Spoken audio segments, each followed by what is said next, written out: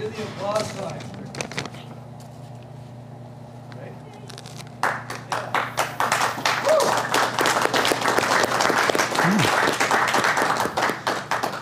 Ladies and gentlemen, welcome once again to the Adventurers Club of Los Angeles. My name is Alex Shumate, number 1210. I'm the current club president, filling in for now our revolving door of interviewers. Um, as you can imagine, with an Adventurers Club, we have lots of people coming and going. And so the distinct honor of interviewing tonight's guest has fallen upon me. So without further ado, I'd like to hand the floor over to our member, Wayne White, who's going to tell us a little bit tonight about his many adventures in the South Pole and maybe some of his, his adventures before Sure, that. yeah, go into that. Um, and what brought him to be a member of this prestigious club and some of his record setting uh, achievements down south. So, Wayne, Fantastic. take it away. Okay, you know, folks, I just want to say it's really an honor to be here tonight. Really is. Um, and uh, I want to start with a story. Uh, it's, a number of our members have been uh, interviewed for this whiskey and a map thing that Michael Reinhardt puts on. And um, raise your hand if you've been there. I know we had several people that have done that. I thought it was really cool. It's a podcast, a podcast thing. And what the hell is a podcast? I guess you listen to it or something later, right? So, um, you know, you know, it's not visual. You listen to this thing.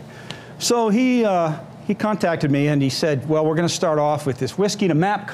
You know, concept is you have a a drink and then you have a map and then you launch an expedition from there." He says, "Think of a drinking story. I want you to think of a drinking story." Uh, um, to get it started, kind of an icebreaker sort of a thing, as he would call it, icebreaker.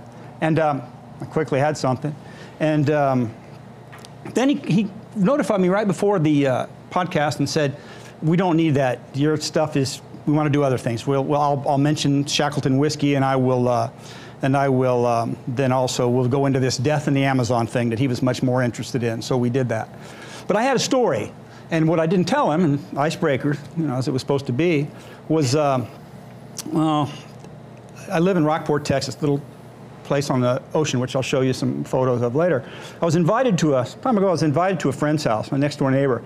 Uh, he's from Taiwan, national, national, you know, China, Taiwan, um, immigrated, and uh, he invited me over for drinks. So I went over to his house, and. Uh, when I got there, he had a bunch of his Taiwanese friends. It was all Taiwanese from Taiwan. This was the, the real deal, no shit. You know, these guys had come over from China. And they, some of them had been in the U.S. for a while, but um, they, were, uh, they were from China, and uh, it was a, fascinating experience. Uh, after a, a, lot of drinks, uh, someone had the good sense to bring out some food. We had some really great noodles, and then this kind of white meat, but I didn't really know what it was. And I ate it, and I asked one of the Chinese, the Taiwanese at some point, you know, what was that? And he spoke in Chinese, and he, uh, he uh, said some things, and another guy looked at him, and I thought, you know, I get the impression he doesn't really want me to know what it was, and it's probably for the best. So what I did was, I just ate it all politely, but didn't ask for any more. Then we drank and drank, and then one of the guys had a guitar, and they were singing songs. And I found out with enough scotch, I can sing Chinese. so uh, we did that for a while, and the evening progressed, and God knows all the stuff that happened. And uh, incredible evening with these guys. And uh, next thing you know, next morning, you know, I came to, I don't say I woke up, I'd like to say I woke up, but it was more like coming out of like this coma thing. I'm in my guest house, I'm still wearing my clothes from the night before. My boots were off, that was good, somehow that had happened. And um, I got a couple cats on me, got a lot of cats, and that's important in this story. Cats are on me, I'm in the guest house, in bed in my clothes, and I'm thinking back to the evening, how much fun I had with these guys. The Taiwanese were a lot of fun, from what I remembered. And uh, I thought back to the food, and I thought back to this. Noodles were great, and I thought about that white meat. And I thought, ah, oh, shit. See, I got a lot of cats, and my cats are all over the yard, and they're into his yard and stuff too. And I know these guys, you know, I know what they do. So I thought, ah, oh, shit. So I run outside and I start counting all my cats to make sure I got all of them. Okay? Thinking, you know, when I count them, here's, you know, here's, here's all my cats. Here's Colton, here's, you know, Mary, here's all, you know, my cats. And I finally get the right numbers. Like, oh, God, okay, that's a good thing. That's a good thing. Got them all. We didn't need them. I again go back into the old house, and um, my lovely wife is probably avoiding me at that point in time, but I get in my green room in there, which I'll show you some photos of because it fits into tonight's discussion a little bit. And on a chair, my leather chair, is my Webley service revolver. It's an old 0455 service revolver. Breaks, action's broken. It's missing a round. I thought, oh shit, what now? So I run over and start counting all the Taiwanese. all present and accounted for. All present and accounted for, which I was really happy. And then, you know, the evening then, you know, it was really a good evening, successful evening, I'd call it, because I had other evenings that maybe weren't quite as fun as that, but you know, maybe ended a little not as good. And my lovely wife has aided and abetted in those things and made them a lot worse sometimes, quite frankly.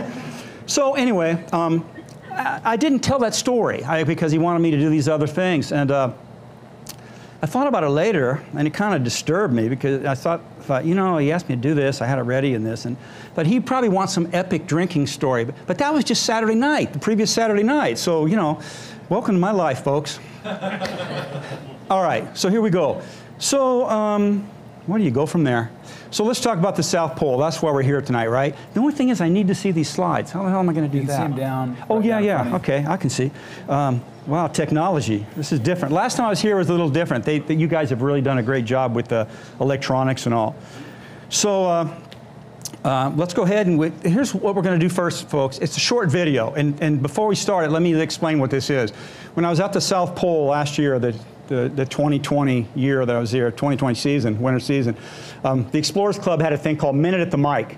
Minute at the Mic, Minute at the Mic, which they wanted Explorers Club members to check in and to tell them what they were doing during the pandemic.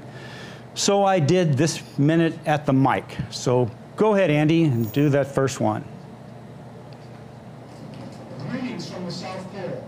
I'm Wayne White, your Texas chapter. I'm the winter manager at Scott South Pole Station here on my third winter. What am I doing here? Well, I'm the captain of a ship a ship that moves at 33 feet per year across the ice. With that, quoting from a famous captain, the path to my fixed purpose is laid with iron rails, whereon my soul is grooved to run. Over unsounded gorges, through the rifle hearts of mountains, under torrents' beds, unerringly I rush. Not's an obstacle, not's an angle to the Iron Way. South Pole Winter Crew 2020, the Iron Way. I hope this video finds you all well. All right. That uh, shows you a little bit about the conditions. That day was about minus 80 something with a, a real stiff breeze. So the, the, uh, the wind chill was you know, much greater than probably minus 100. Um, and uh, I got that in one take. It's because I understand that phrase. I understand that. That was, if anybody is familiar with Herman Melville, that's Ahab. That's an Ahab speech. That was my speech that was something that I wanted to convey and I conveyed to my crew. Um, we're going to talk a little bit tonight about leadership. Maybe we'll get into it. Sometimes when I talk, people are interested in it. Sometimes they're not as much. They want to see what the diesel generators look like. But it's all about leadership um, to me, and it's all about taking care of that crew. And if you know anything about the character Ahab, he was certainly a flawed figure, but to me, a beautiful figure. Ahab, a great ship's captain. Ahab was a great ship's captain. Ahab, a great orator who could talk, who is, and, and who is able to uh, get his men to follow him and, and under a, into a terrible situation um, to kill this white whale.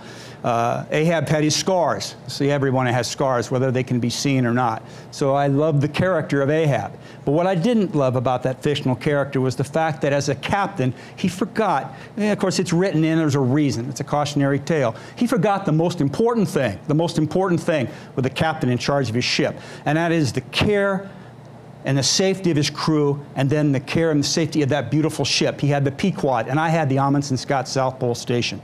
So that, that little rant of Ahab's meant a lot to me, but it meant a lot to me to, to with my own extreme passion and drive, and I'm on those goddamn iron rails. I can smell and taste those things, let me tell you.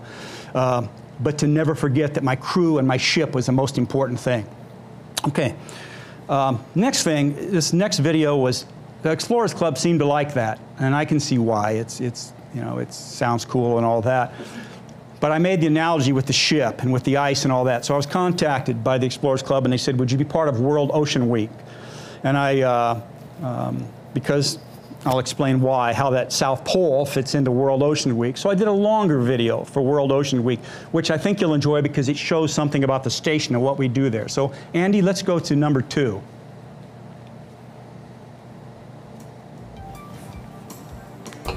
Greetings from the South Pole. I'm Wayne White, the winter manager at the Amundsen Scott South Pole Station. Folks, did you know Antarctica is actually classified as a desert? It's the highest, driest, coldest place on the planet. But make no mistake, I'm the captain of a ship. a ship that sits on nearly two miles of ice. This two miles of ice is moving. It's moving that way at around 33 feet per year. In thousands of years, this ice that I'm standing on will find its way to the sea and then into our beautiful southern oceans.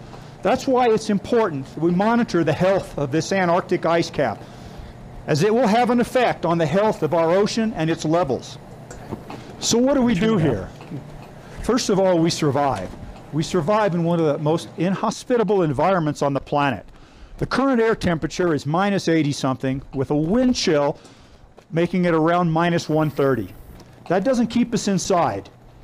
Personally, over the last three winters I've been here, I've walked 3,500 miles outside and should hit my goal of 4,000 miles uh, by the time I leave in November. But what else do we do here? Most importantly, we do some very cool science. Let me show you a little bit of that. First, we have our IceCube Laboratory. This is a neutrino telescope. Imagine a cubic kilometer of ice with over 5,400 embedded detectors. These detectors detect neutrinos coming in from nuclear forces in stars and black holes.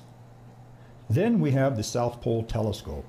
This is a 10 meter microwave dish which detects the echo of the Big Bang and birth of the universe.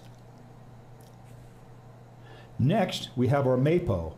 This hosts the BICEP array, which also looks at cosmic microwave background and is looking for evidence of inflation right after the Big Bang. Then we have our ARROW. This is a part of a global network that monitors gases in the Earth's atmosphere to track and model human impacts. For World Oceans Week, here at the South Pole, I'm Wayne White.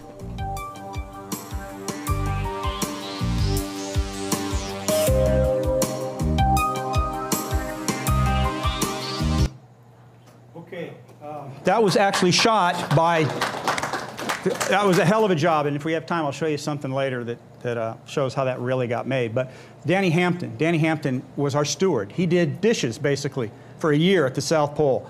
Washed pots and pans, cleaned rooms. Uh, it was a very uh, um, non-glamorous job and uh, he did it. And um, he turned into quite a photographer through the year, and, and uh, we, did it, we did that on an iPhone, actually. Uh, it's very rudimentary done. But um, I think it's a good job, and it kind of explains what's happening at the, what was happening at the South Pole. Um, I have one last video, and maybe another one if, when I'm done, if we have time. Uh, and this is an important video because of the three years I did there, which I'll explain, 17, 19, and 20, uh, this last year was quite challenging with the COVID virus, and I'll explain it in the program later. But as we, uh, as we uh, progressed through that year, it went from this, uh, we're you know, locked in this place with no way out, and uh, it went from this virus where we had no idea what was going to happen to was anyone you know, going to be coming to pick us up at the end of the season. We didn't know how bad things were going to get. So this next video was done at, at, our sunrise dinner in September, where I am addressing the crew at the South Pole, the Amundsen Scott South Pole Station sunrise dinner, something you'll never see anywhere, but I had it videoed because I thought it was important. So let's go to video three, please.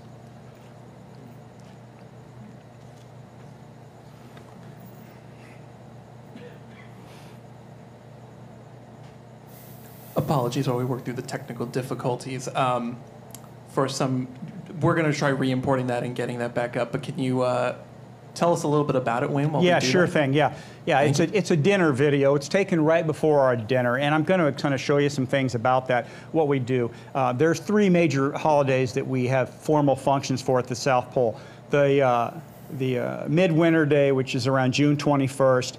Um, uh, well, actually, the closing of the station, the midwinter, the midwinter day, and then uh, we will have. Well, actually, I should say the sunset sunset dinner that occurs at sunset, then the midwinter dinner, and then the sunrise dinner. Uh, and the sunrise, uh, so you go from you know, darkness uh, into uh, uh, when the sun's coming back. Now, when the sun was coming back, that was when the 2020 crew was thinking about how we were going to get out of there and how we were going to go home. So um, I wanted to make a special point of talking to the guys and uh, um, giving them my thoughts on what we were facing, this new world that we were going to be arriving in. And if we can't do that, let's move on. That's okay. I we got it, Wayne. We're, we're ready when you are. All right, let's go. Let's go. Sunrise dinner. That's it. All right, folks. All right, crew. Welcome to the 2020 South Pole Winter Over Sunrise Dinner. You guys happy to be here? Yes. Yeah? Enthusiastic? be right now. Yeah, well, we're going to get to that. We're going to get to that. Where else would you want to be than here? Okay, folks, couple of things. Um, you know, uh, the other day I had a couple of job interviews, phone interviews from here. And during those interviews, I invoked the names of the greats. Ernest Shackleton, Captain Scott, Roald Amundsen. When we came to discussing things about leadership, all great leaders in their own way. Now that may be a have been a tactical error, actually, because I don't know these days if those guys are still recognized as we do here. And while my name will never be mentioned with any of those people, um, I've done my best through this season to keep their, their memories alive. And I think by now, most of you have learned a few things about these men and the great deeds that they've done. Now, the other thing that these guys have in common, they're all immortal, right? They're all immortal. Well, you are too, to a point. This beautiful photo that we took this, this last week, it actually surprised me, folks. I thought we were going to go more for the Star Wars thing, and this goddamn thing, as far as I'm concerned, hit it out of the park Yeah, way good. with the, uh, new thing. With us, with us and the ice, and that's what this is about, and I'm going to talk a little bit about that. With us and the ice, that's what it's all about. There's not a lot of other things, distractions in that photo. It's quite simple, and the 2020 South Pole Winter Over crew will be will be noticed forever for that, I'm sure. Now, folks, you know the kind of season we've had. What we've done here, it's been spectacular. It's been fairly quiet. The work that you've done has uh, served to keep it that way. But off island, off ice, we have faced some real turmoil. The world we're in right now, when you look at what's going on with the virus, you look at what's going on with political strife, you look at certain things that have happened to crew members, deaths, divorces, hurricanes, fires, everything, the goddamn locusts. Is that what's in the left? Locusts? Is that somewhere? I think some. Frogs. Frogs? All right. But we face those things. We have faced those things together as a crew. And I have been damned impressed by how we have bonded, how we've bonded through those things, how we've come together, and how we have, have bonded as a crew that we have. Bonded by those things, not let politics and such silly things like that affect us as crew. And then we bonded with something else, I think. We bonded with the ice. We stand on two miles of ice here. Two miles of ice that's moving, as you all know. It's moving toward the Weddell Sea. Someday this ice, this beautiful ice we're standing on, is going to make its way there and be part of our ocean. It's beautiful ice that I've been fortunate enough to walk nearly 4,000 miles on outside every day. That has helped to bond us, just as the fire might, in other instances, the ice has bonded us. Now soon, we're going to be leaving. Sometime in November. Although I did get a message today that said something like it might take a little longer What? than originally scheduled. Does that scare anybody? No. Okay, we got it. All right, all right. Don't worry about that. It'll all be okay. It'll all be okay. But there was there was just some discussion that you know the exact date, so to speak, might not be exactly what we think. But uh, we're going home, right? Yeah. One way or another, crew, we're going home. That's a fact. If we have to walk a thousand miles and, and do that, who wants to do that? God damn, I thought there'd be more. All right. All right, I do. but okay. Um, so we're going home. And we're going home to a new world. We're going home to a world that uh, not quite what we left. Um, I don't know if we're going home to a better world. But you're on the verge right now of becoming a South Pole winter over. You'll be part of an exclusive group. It's only about 1,600 have ever done that. Ever done that in the world. You'll be part of that group. Um, a very exclusive group. So we go home. We're going to face these challenges, but you'll face it as a new person. You'll face it as a member of the South Pole 2020 Winter Over crew. And goddamn, what's better than that? Thank you. Inspirational, huh? Yeah, who'd huh? All right, well, you got to see that. Very few people on planet have seen that. That's at the South Pole in September of this year with a bunch of people that didn't really know what they were coming home to. So, out of uh, my time at the South Pole, I've written a book. I'm not here to hawk a goddamn book tonight, let me tell you that. But I think I want to I want to talk about it a little bit because it has a different perspective than uh, than uh, you know maybe most people because there uh, that have been to the South Pole because I was in a leadership role and I was in a leadership role longer than anyone's ever done before. So um, uh, over those winters anyway. And it gives it. So let me read this to you. It's uh, kind of an interesting perspective. My book is called Cold, by the way. And it's coming out in. It's. I've got a publisher and it's coming out in the spring. The Amundsen Scott South Pole Station is a ship, a ship with a crew which sits atop nearly two miles of moving ice. The ship, the ice that holds it, and its crew are on a voyage. A voyage that will take several hundred thousand years before whatever is left of the ship, along with the ice that held it, will arrive at its final destination, the Southern Ocean. Its winter crew will change out annually or on a voyage of their own.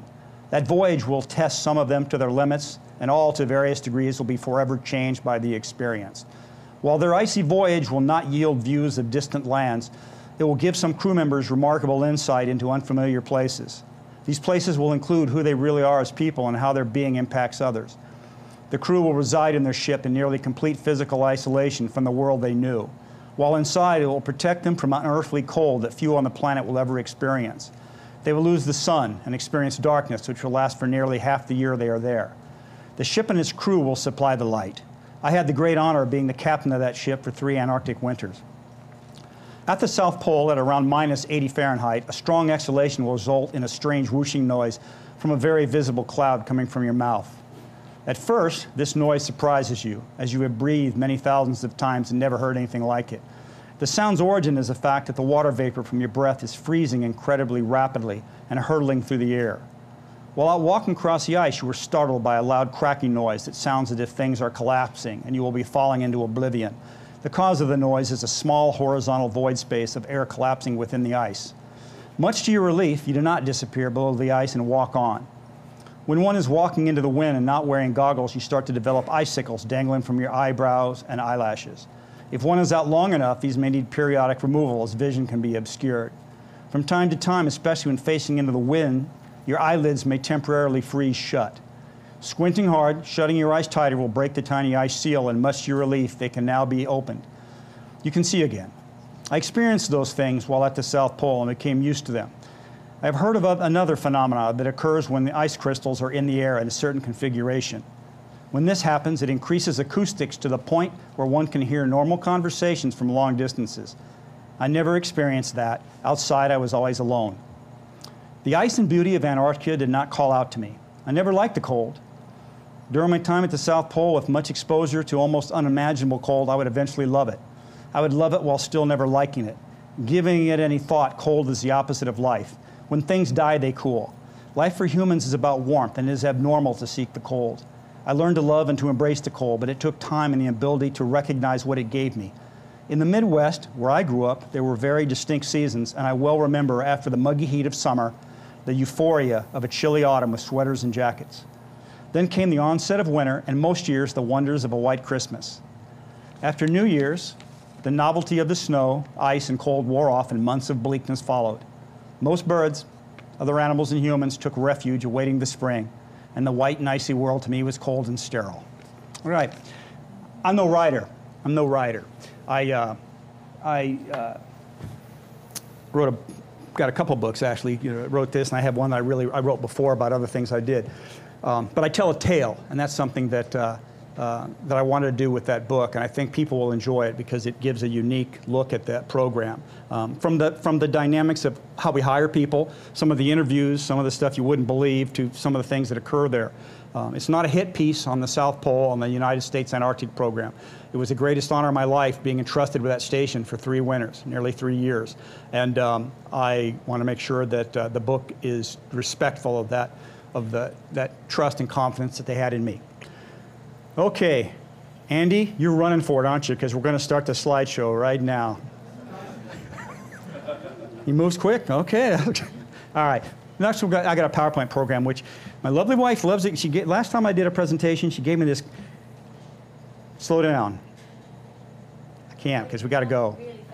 Am I okay tonight? All right, Wayne, hit me up. All right, can you hear me? Yes, sir. Okay, let's go ahead with the PowerPoint program. All right, and you guys, you see the first slide?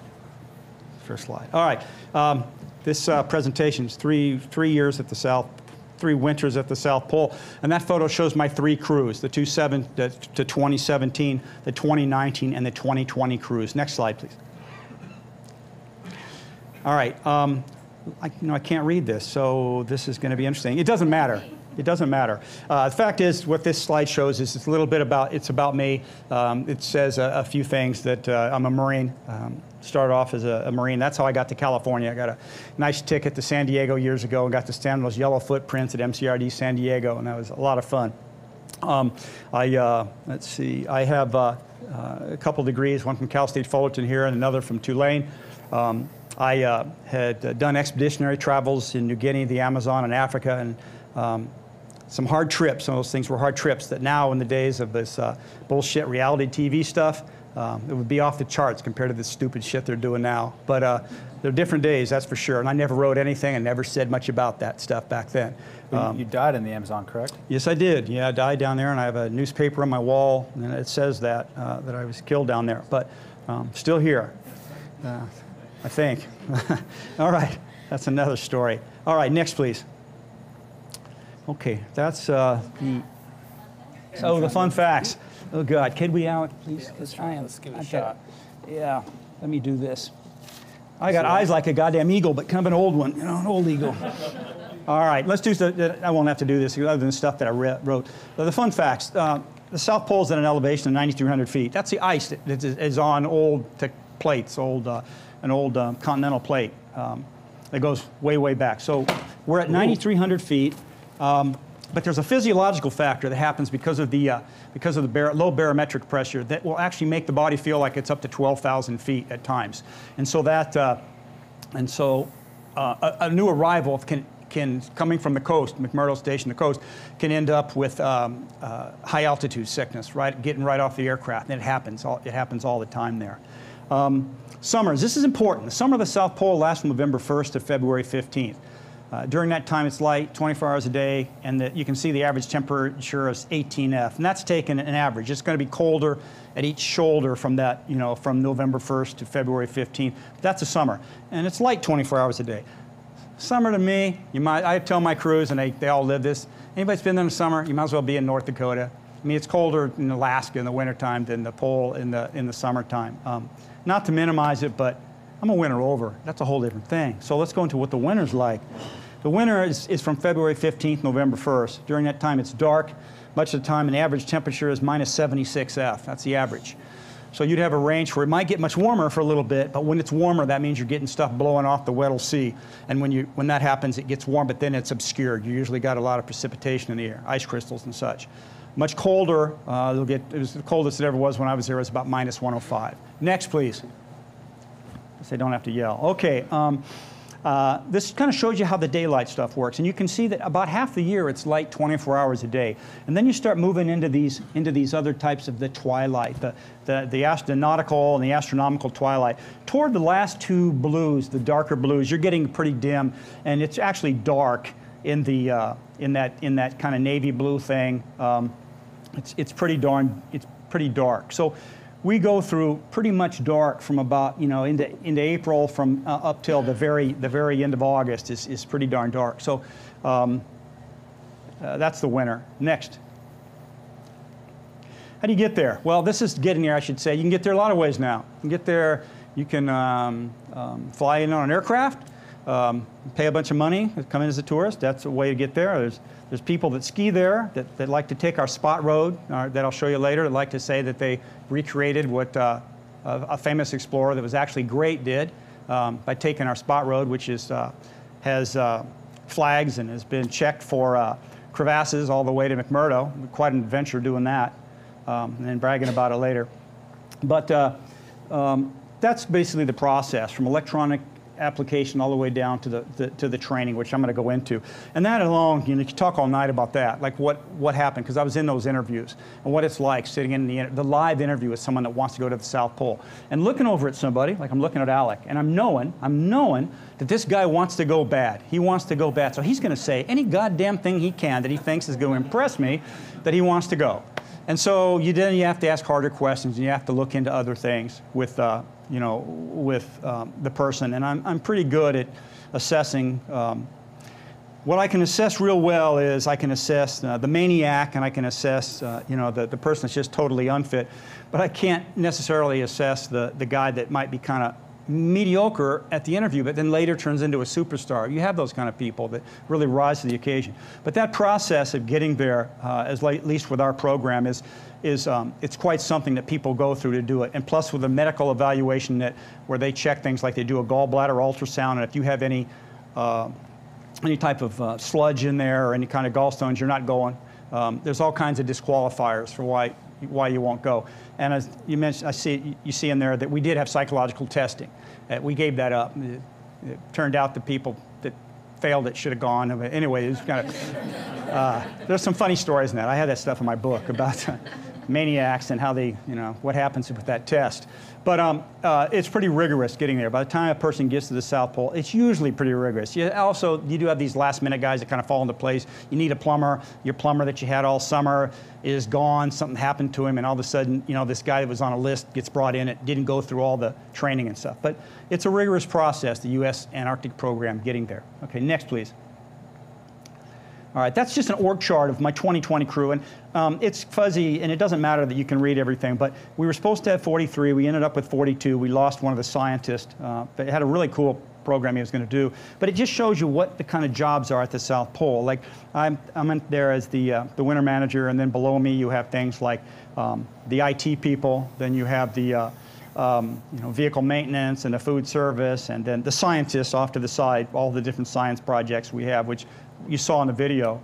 Um, uh, and uh, the maintenance folks and uh, you know everything from a plumber to a carpenter to all these things that'll keep that station running. Because what the winter crew is all about is keeping that station up and operational. So you need the expertise to be able to operate that station with, with no help from the outside whatsoever.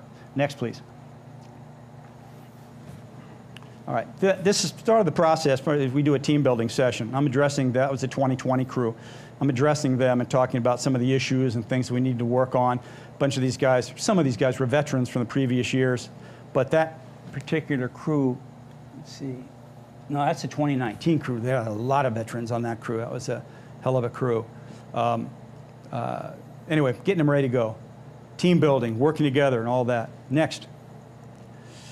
There's no 911 at the, uh, there's no 911 at the South Pole. Um, you get a call, which we do, and we did, fires here and there. You got to do something. You got to do something quick, and nobody's coming. So we go through fire training. It's a week at the Aurora Fire Academy, which is pretty damned intensive. They put you in the fire, and you got to feel the heat, and uh, it, uh, it's still, it's only a week training, and then we practice after that, which I'll show you. Next, please. They give you a cool photo at the end with this fire burning behind you, and then they send you off, and now you're now you're the fire department at the South Pole. God damn, uh, I'll tell you what, that's something else. Next. All right, deploying. So you deploy. We deployed from uh, after the uh, one year after team building, and another year after the the emergency training. Fly to uh, from Denver. You fly to Auckland, New Zealand, and from Auckland to Christchurch. And Christchurch, New Zealand, is where the Antarctic uh, um, deployment center is. I'm there in the Christchurch Deployment Center uh, preparing to board an aircraft. Next. All right, that's not it. All right, that's a C-17. Some of you guys are familiar with that. You generally take C, in past years, you would take C-17s to the ice. Uh, they actually land on the ice at McMurdo Station. Um, this year, because of what happened with the Air National Guard and the COVID and all that, we didn't have C-17s available. Next. That's aboard the C-17. Someone saving that picture, and I saw I was in it. And I did a little circle on there. But anybody that's been in C-17s, um, it's a hell of a lot more pleasant than, uh, than the C-130. It's only, I don't know how many hours it is, uh, like three and a half, under four hours on the C-17, and it's like seven hours or almost on the C-130, and that C-130 is cramped. Um, I've been on C-130s all over the world in my, in my contracting experience. But um, which I didn't really mention. That was on that slide, uh, and it's kind of important. I need to mention that. But um, I, uh, let's see, I don't think it's coming up. I think it was on there. I've been working around the world for the last 25 years. Um, uh, I've been gone for most of that in remote sites around the world. Um, so, so prior to my Antarctic, uh, my Antarctic position in 2016, I'd been around the world, starting with Diego Garcia, uh, Singapore, which was part of that project, um, Midway Atoll, um, uh, from Midway to Shemya Island, Alaska, the very end of the Aleutian chain, from there to Iraq, from there to Kuwait, Kuwait to Wake Island, out in the tiny little atoll, from Wake Island to uh, Afghanistan, Afghanistan to Saudi Arabia, and then from there to Ascension Island, and then on to the South Pole. Um, so that was 25 years where I wasn't home very much. Okay, next, please. All right, so there you are. You're on the C-17. You're getting off at the field there. Next, in Antarctica, McMurdo Station. Next. So sorry, folks. Uh, for some reason, the net, the program just stopped working. So we're gonna reset, and it's gonna take a few minutes here. So If I can. Give it one second, folks. While we're waiting, is any questions right now? You can certainly ask a question. We've got a couple minutes. Yes, sure. Yes, sir. So you land, you all get off the plane. Is that the six months worth of provisions, or does the plane come? Okay, I'm going to talk about that because all I'm here, all I am at this point in time is at McMurdo. McMurdo, and as far as I'm concerned, you know, and I'll, I'll mention that, I want to get through McMurdo as quickly as possible and get to the pole. I never, McMurdo wasn't my thing. Um, it's a big place. Uh, it's got a lot of people, and it wasn't my thing to be there. And that, You left for New Zealand? New Zealand to McMurdo, and then from McMurdo, a smaller aircraft, which I'll show you, to the South Pole, another three or four hours. Kevin, Now, did you ever have any security issues where instead of firemen, you had to play policeman? That's a really good question because that could happen, and that's why we we we um, we interview people and we look for for for any signs of violence. For example, when I interviewed, and it's in some of the stuff's in the book, kind of humorous stuff. I mean, I think it's humorous, but um, sitting there with one guy, and uh, there's a question we ask everybody, and it was, describe working, how you handled a difficult coworker, and the guy said, the guy said, well. Um, I, uh, she kicked me in the balls because I broke her thumb or something. I don't know which way it went. or said, all right. So, so that was during his interview. He said that. And of course, I tried not to laugh. You know, I'm biting, I, I'm tasting blood because it's so funny. And the interview's over, see, at that point. Because this happened at work. He, he, how did it happen? She kicked him and then he broke her thumb. So he's just trying to explain that the reason he broke her thumb was because she kicked him like she did. Now, now this is a guy that you, you know, you probably wouldn't want on the crew. Um, an- another one, I re- remember this because I didn't hear it, and I asked my boss, "What did he say?" And my boss said, "He said he'd kill us all if he wasn't hired." and so, and, and he had this weird goatee, you know, and he was stroking it, and it, you know, I didn't hear it, but uh, my boss swore that's what this dude said, and so I remember telling the receptionist later, "If that guy with the goatee comes tries to come back, don't open the door." Yes, sir. Yeah, re- real quick, just, Yeah. just you know, I'm going to repeat because I think I'm the only one mic'd up. So I'm going to repeat whatever you say, Bob, just so you know. Why did they eliminate the psych exam and how'd that work out? Yeah. So, so Bob's question was, is why they eliminate the psych exam, and how'd that work out? Here's in the end why. Because we found that it was taking people out that we didn't think were really, really crazy. It did get to truly crazies, but we thought we could see that too, and I think we did. But what it, what it, what it was doing was, it was, for example, it was getting a lot of our mechanics. We were having a hard time hiring mechanics. And I mean, the mechanics, there's something about a mechanic that works maybe on their own. So maybe things are like, maybe when they ask questions about being social or how they work with other people, maybe they an, an negative. Like, for example, I didn't answer that. You think I could answer that thing honestly? Are you kidding? So uh, I had to leave. No, it wasn't that bad. But stuff like this, for example, do you like to go to parties or would you like to say, yeah, I like to go to parties. That's what I said. Is that the right answer or the wrong answer? That's probably the right answer because the other was I want to stay in my room and hang myself. You know, so you don't you don't want that. So you know the thing is is that uh, is is that um, I kind of know they were looking for this introvert that they were afraid of. What I found out was you can be damned introverted at the South Pole as long as you're not crazy. And like I told one guy, I did say that said as long as you don't hang yourself in your room. And then I knew as soon as I said it, I shouldn't have said it because he looked at me like, well, I could do that. And I was like, no. So I never said that to anyone ever again. You know, because then he'd say later, the station manager said, yes, Wayne, what was the most common maintenance issue you had during the wintering over months? All right, so Well- real, wait, real quick, so I got to reset it. What was the common, most common maintenance issue you encountered while you were there over the Well, we had a great maintenance crew, and they have to take care of everything. But the most important thing was our generators, was keeping those generators. That's the that's the heart of the ship. And if you don't have those generators, you don't have warmth. And if you don't have warmth, it gets cold in that station real fast. So let's just say we paid more attention to the uh, you know to the generators, to our power generators, than we did the lighting or something like that. But that would be our number one. But we had all kinds of maintenance issues, and we would hire these guys that could do all kinds of things. We hired these really jack of all trades, and, and I had some fine people on my crew. Yes, sir. Your first winter over, what was the job interview like? Did you pursue the job or Yeah. were you recruited?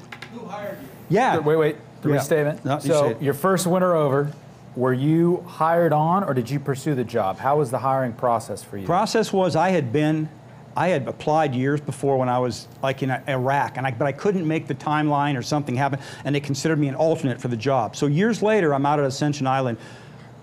Beautiful job. I'd only been there about seven months at the time. I was going to be spending the next five or six years there and probably be able to bring you out. We didn't have all those cats then. And uh, she went crazy. You got cats everywhere now. But anyway, I love every one of them. So the point is, is that um, no, they didn't recruit me. They didn't know, but I sent an application in from Ascension, and I, God, I debated it, and I thought I just landed this dream job. I'm the station manager at Ascension Island, South Atlantic. I got a job for the next five years. It's a, I love the place, and then uh, tiny little remote place, you know, Brazil and Africa, in the middle of nowhere. Perfect, perfect job. And then I saw, I don't know why I even saw it. I saw this ad. There it was, the winter manager, and I applied, and I thought they probably won't call me. You know, How, how did it compare to Shackleton's ad? I like Not, not quite as sexy. Well, they didn't. They try to play it up like everything's swell. That's the difference. I don't. When I talk to people, I was harsh and told them what could happen. Yeah. The, the program doesn't tell you that. Oh, it's wonderful. Everyone's nice. You have food and you have all this stuff. They don't tell you. If the generators go out, it's going to be minus 100 and you're going to be in this station, you know. So they tell you it's a little different the way the program does. I was more realistic. The point was, um, I sent my application in thinking, ah, I'm just doing it. And then, goddamn, it was like the next day I'm called and they want me to come for this interview. And I came for the interview and I'd had, a, they don't have guys like me that have all that experience working overseas. It's usually someone from another crew that they promote up. So I was an unusual thing and they knew of me from those years ago. So that's how I was, how I was hired for the job. Well, to paraphrase Shackleton's ad, I think it was Yeah. something like low wages, slim chance of return, Yeah. like constant darkness, but like eternal glory for the crew that goes out. Something like, and you had a Yeah. line around the block. As Well, I, and I'll tell you something that, that the truth is that ad never existed. It didn't exist. It's that you'll see old sepia tone photos of it and stuff now, but it, it was. It, there's a story behind it. You can Google it if you're interested in where it really comes from. Not that he didn't think that, but it really wasn't that ad. But he probably told them that. Um, like I said, when I interview people, I was much more clear on what they were getting into. I didn't sugarcoat it. Yes, sir, in the back. How did the ship end up on the ice? Which one? The The- one you lived in. Oh, um, was built. so, so uh, the question is, yeah. how did the Amundsen, Amundsen Scott station come into existence? That's a great story. 1956, 1957, the first group of Navy Seabees. Navy Seabees flew down there and built the first South Pole station, flying stuff in, parachuting it in, and it was just a small uh, footprint at that time. A few buildings, um, you know, communications and all that. Then it grew, and they built years later. Aircraft brought in stuff, same thing. Brought in the geodesic dome. Some of you have seen pictures of the old dome. That sunk beneath the ice, and then the Amundsen Scott South Pole Station was built um, uh, around 2008 or so, something like that. But it was a magnificent effort done by aircraft for the most part, and they might have pulled some stuff. I don't know if the spot. No, they didn't have the spot. Then, I don't think. But um, incredible planning to put that station together, and I'm gonna I'm gonna show you the station. Incredible to, to put that station. It shows something about the power of the United States that we could do such a thing at the South Pole. Are we okay? How's our slides? That that's a great segue, Wayne, uh, because we are back up and running. I just didn't want to slow your roll. So Okay, no, I say we saved keep some time going. for later then, some of the questions, so we used it all. All right, so we were getting off an aircraft there at McMurdo. Next, please. Um, McMurdo to me, I, I'm sorry, I, I did learn to appreciate it. I was always really down on it, and I won't go into some of the reasons why, but uh, it's just got a different mentality than the South Pole does. But McMurdo has some fantastic stuff, and one of the things is this is Scott's Di- Discovery Hut. This was built by Captain Scott in around 1903 uh, when, on his first expedition with the Discovery, and it's still there. Next. Wayne, can you give a bit more background on Robert Falcon Scott? Yeah, yeah, yeah um, that was Scott's first hut, 1903, 1907, or 1905, whatever, when he was there. And he, uh, Scott was down there on the British Antarctic expedition that uh, was going to, his first expedition, 1903, 1907, wasn't necessarily going to make it to the South Pole. They knew that. It was more gathering science data, it was more trying to make the furthest south. Um, uh, no one had really been spent the kind of had been as far inland as Scott took it. It was important because he had Ernest Shackleton on his crew that year, and a bunch of other guys that later became quite famous in polar history. So it was kind of a first footstep in Antarctica by the by the British. Uh, so that that's old hut. He came back later, and, and I'll talk, and made it actually made it to the South Pole. Well, and, and the current hut is like frozen in time, correct? Like you Yeah. can step in and it's like walking into a time machine. There's still old food things and stuff like that from the. That hut was Discovery Hut from 1903. They built that hut and then they found out they didn't they didn't even like being in there. It was too cold, drafty was a problem. So the people they slept on the ship, which iced in, and they stayed on the Discovery. When he came back for the final expedition where he made it to the South Pole in 1909, 1911, um, this, his ship, uh, his ship, the Terra Nova, actually dropped them off. They made their camp at, at Cape Evans, and then the ship left. So they actually stayed at the Cape Evans hut, which is frozen in time to this day. Uh, this is a, a cross. This is Seaman Vincent's cross. He was lost on Scott's first expedition uh, in a terrible snowstorm, wearing finneskos, which were a type of hide boots, slid off a hill into the ocean, and his body was never found. Next. So making a quick exit from, from uh, McMurdo, I would arrive on the Basler. And you aircraft, aficionados, whatever, aircraft interested people, that's a DC-3. It's a modified, beautiful old DC-3. The airframes are from the 1940s, operated from a, by a Canadian company that has the contract. Um, modified, updated electronics and all that. Probably everything's updated, but the airframe does go back to the 1940s. Uh, I would come in on that because that would land a little bit earlier at the end of October, sometime at the end of October. Next. Most people come in on the LC-130. That's a C-130, the only difference being, if you notice, it's got skis. Okay? So it, it lands, and that's how most people get there. Next, please. That's the South Pole. it's all north from there. Next, please. There's the station. That was a good question about how it got there, because imagine this thing 50,000 square feet plus, counting these other parts of the station. Um, that we put that together there. It was an engineering marvel. And I, I, I gotta, I gotta go fast because people are gonna get tired, and you probably already are. Next. People can ask me later. This is an aerial photo, which is interesting because um, you'll see the station. That was taken from about 10,000 feet. And from that, you can see um, the science buildings, which you've seen in the video. And you can see to the top is the, uh, is the uh, communications area. And I would walk. I had walks which I'll go into a little bit later, both those areas. Um, some with a flag line and some I was just out on my own. Next, please. I'm going to give you a quick tour of the station. I'm going to make this real quick because it's getting later. Communications room, next. Uh, my office, next. Large conference room, next. Large conference room, it's important because that's a signed copy of Roald Amundsen's book, signed by Roald Amundsen. Next. That's Admiral Byrd's uh, sweater that he wore on his trip over the South Pole. Next. And, and to clarify, Roald Amundsen was a member of this, honorary member of this Yeah, club. yeah. And Admiral Byrd, I believe, visited multiple yeah, times. well, Amundsen, I, I'm sorry. I wish I could do a thing just on the history because uh, Roald Amundsen was a great hero of mine. They all are. Next. We're all in their shadows. The hallway. Next. Uh, the science lab. Next. B3 lounge. A lot of fun stuff happens in there. Next. Computer lab. Next. Clinic. You don't want to go there. Next. Our, our, our doctor, um, we don't have a dentist. The doctor takes like a, a course, like a one week or couple day course in dentistry. And that's why we have a really strict dental thing because you don't want to have your doctor try to fix your teeth. Next. This is an important hallway. These photos here, this, those photos at top left is the first winter over crew, 1956 57. And every crew has a photo taken, and they are immortal, as I mentioned. That's what I was talking about in that video. Um, they become immortal and become part of the crew that'll be there forever as long as the U.S. has a presence at the South Pole. There will be a crew photo. Next. The store. Look at that, some alcohol there too. Huh? Who'd have thought? Um, interestingly enough, just to go into that, talk about leadership and such. Uh, my leadership style, uh, seeing the alcohol that brings this up.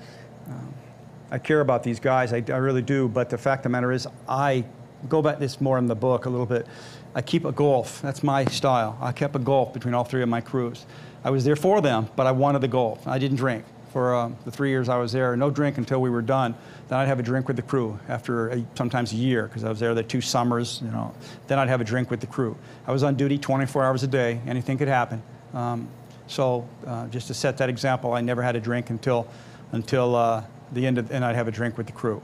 Uh, the one exception to that, we had a off-ice death that was uh, a crew member that should have been with us that something terrible happened while he was off ice, and we had a memorial service, and I led a toast for him. Next. Quiet reading room. Next. Laundry. People ask about laundry. Two loads a week. Or no, let's see, one load a week. I used to do mine on Saturday. Next. We get two showers a week. Two two minute showers a week. Water is, is, is something that we conserve. And I'll show you. Next. Uh, B3 Lounge, watch a lot of movies. Next. Wayne, Yeah. real quick, Yeah. might be a good time to mention. I think you've mentioned a film festival that happens when the crew first gets down to the South Pole. Yeah, there's, and I thought I had that first slide. I, I, I thought it, I think it showed us in the, I wonder what happened. I think it was there. The fact is, here's what happens. When, you, when, the, when the doors close, maybe it's coming out, but uh, when the doors close, yeah, yeah, no, I think it's coming up. I'll tell you about that. Next, because I think I have a slide of it. Okay, maybe I don't. This is important. These are pole markers. Um, these are pole markers geographical pole markers, and they got to say a certain thing. There's a certain there's a certain um, thing that they have to have to be actual pole markers, and these are early ones, which are fairly primitive. You can see that they're fairly primitive in design. Um, but then, as the years and people get, you know, we get really cool machinists and better machines. Next. All right. They end up being works of art. Now, what happens is the crew actually comes up with a design.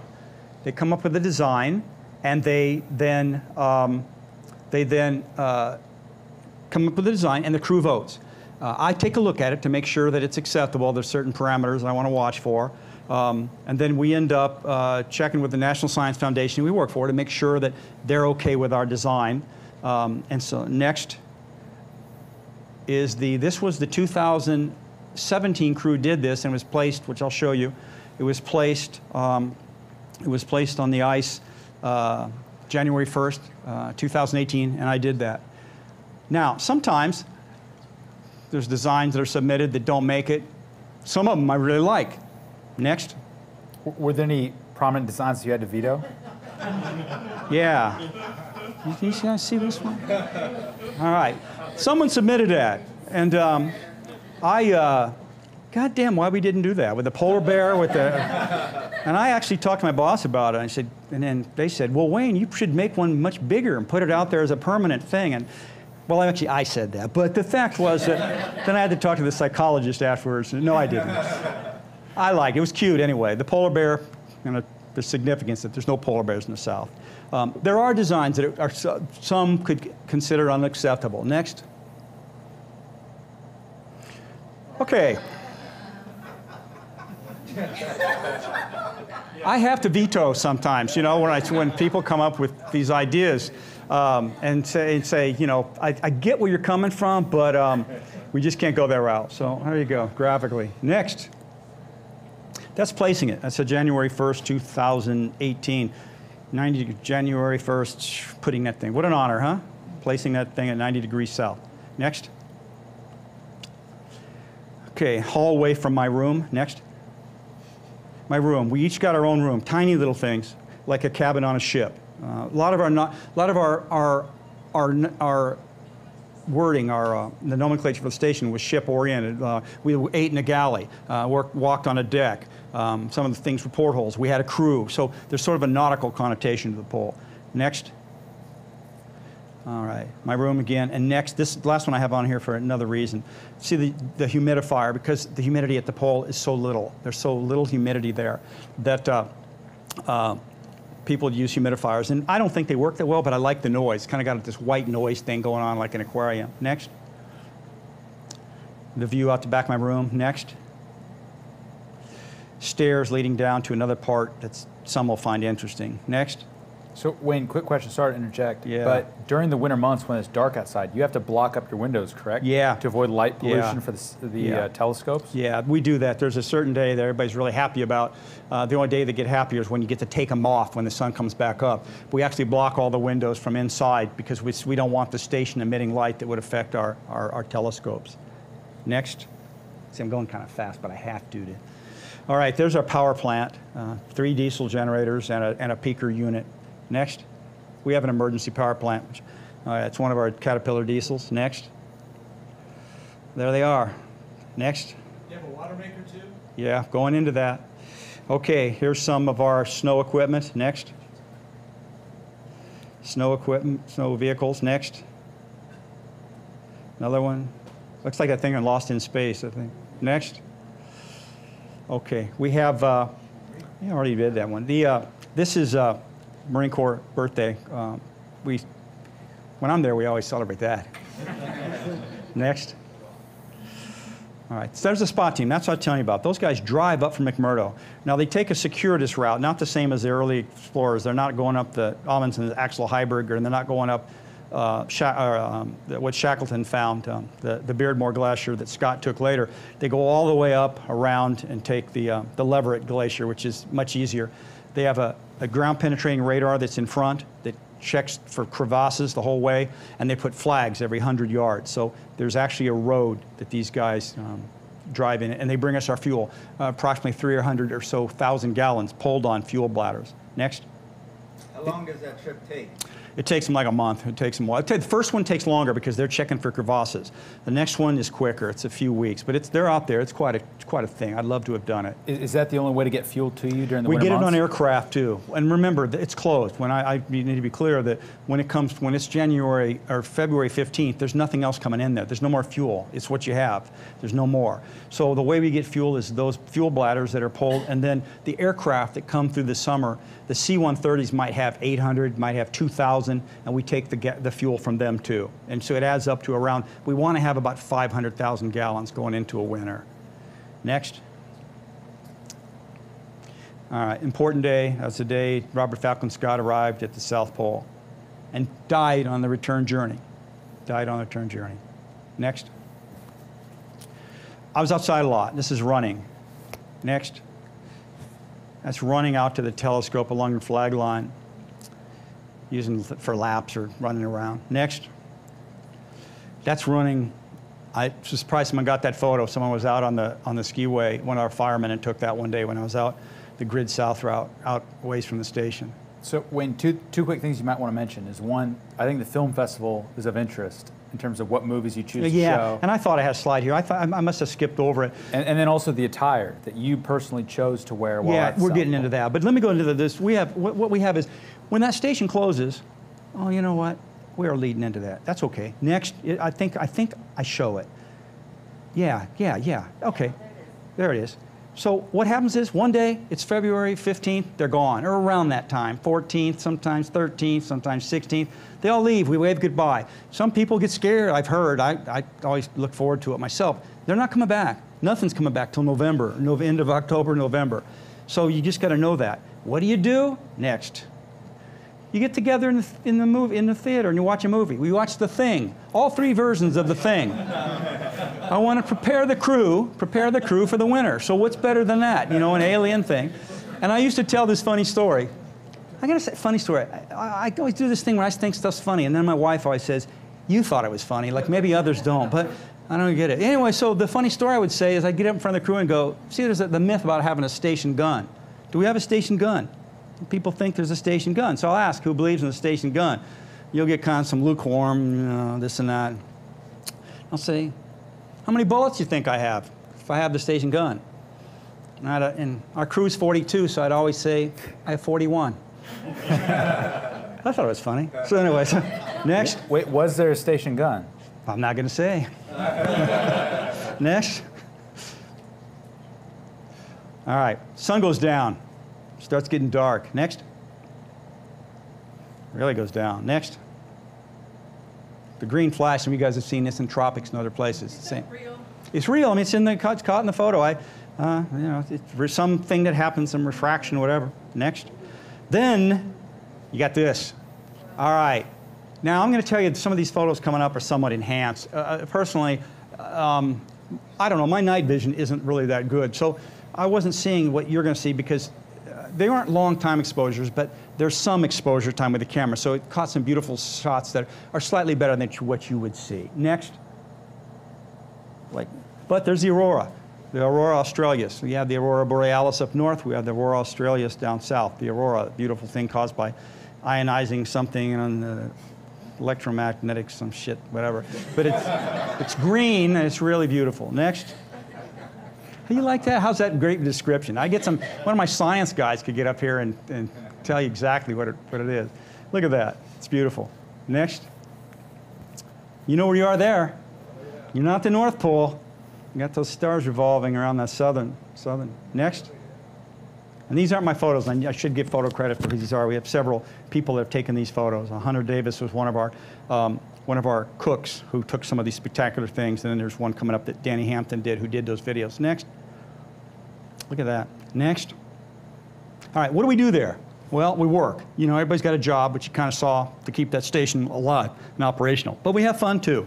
Um, we put events on. And one thing, you know, as a leader, I've learned is you want people actively engaged and involved and doing fun stuff. That stuff too that doesn't always revolve around drinking because you'll find yourself in remote sites. So many things will revolve around drinking. And at the South Pole, well, you're going to have that. You know, you want to you want to keep it under control. So we had talks and a lot of things. And next, I did this one. All right, that was my night. Saturday night, seven o'clock, adventure movie night with Wayne, and we would get together. And there was a I was showing the movie South, the old black and white um, movie South um, from Shackleton's expedition, and try to make a little bit more wholesome for the crew. And also, particularly the second and third years, I brought things from my personal collection. I brought a little piece of the Endurance spar that I have. I brought a, a little uh, uh, candle holder that came off uh, the Terra Nova, the ship the Terra Nova.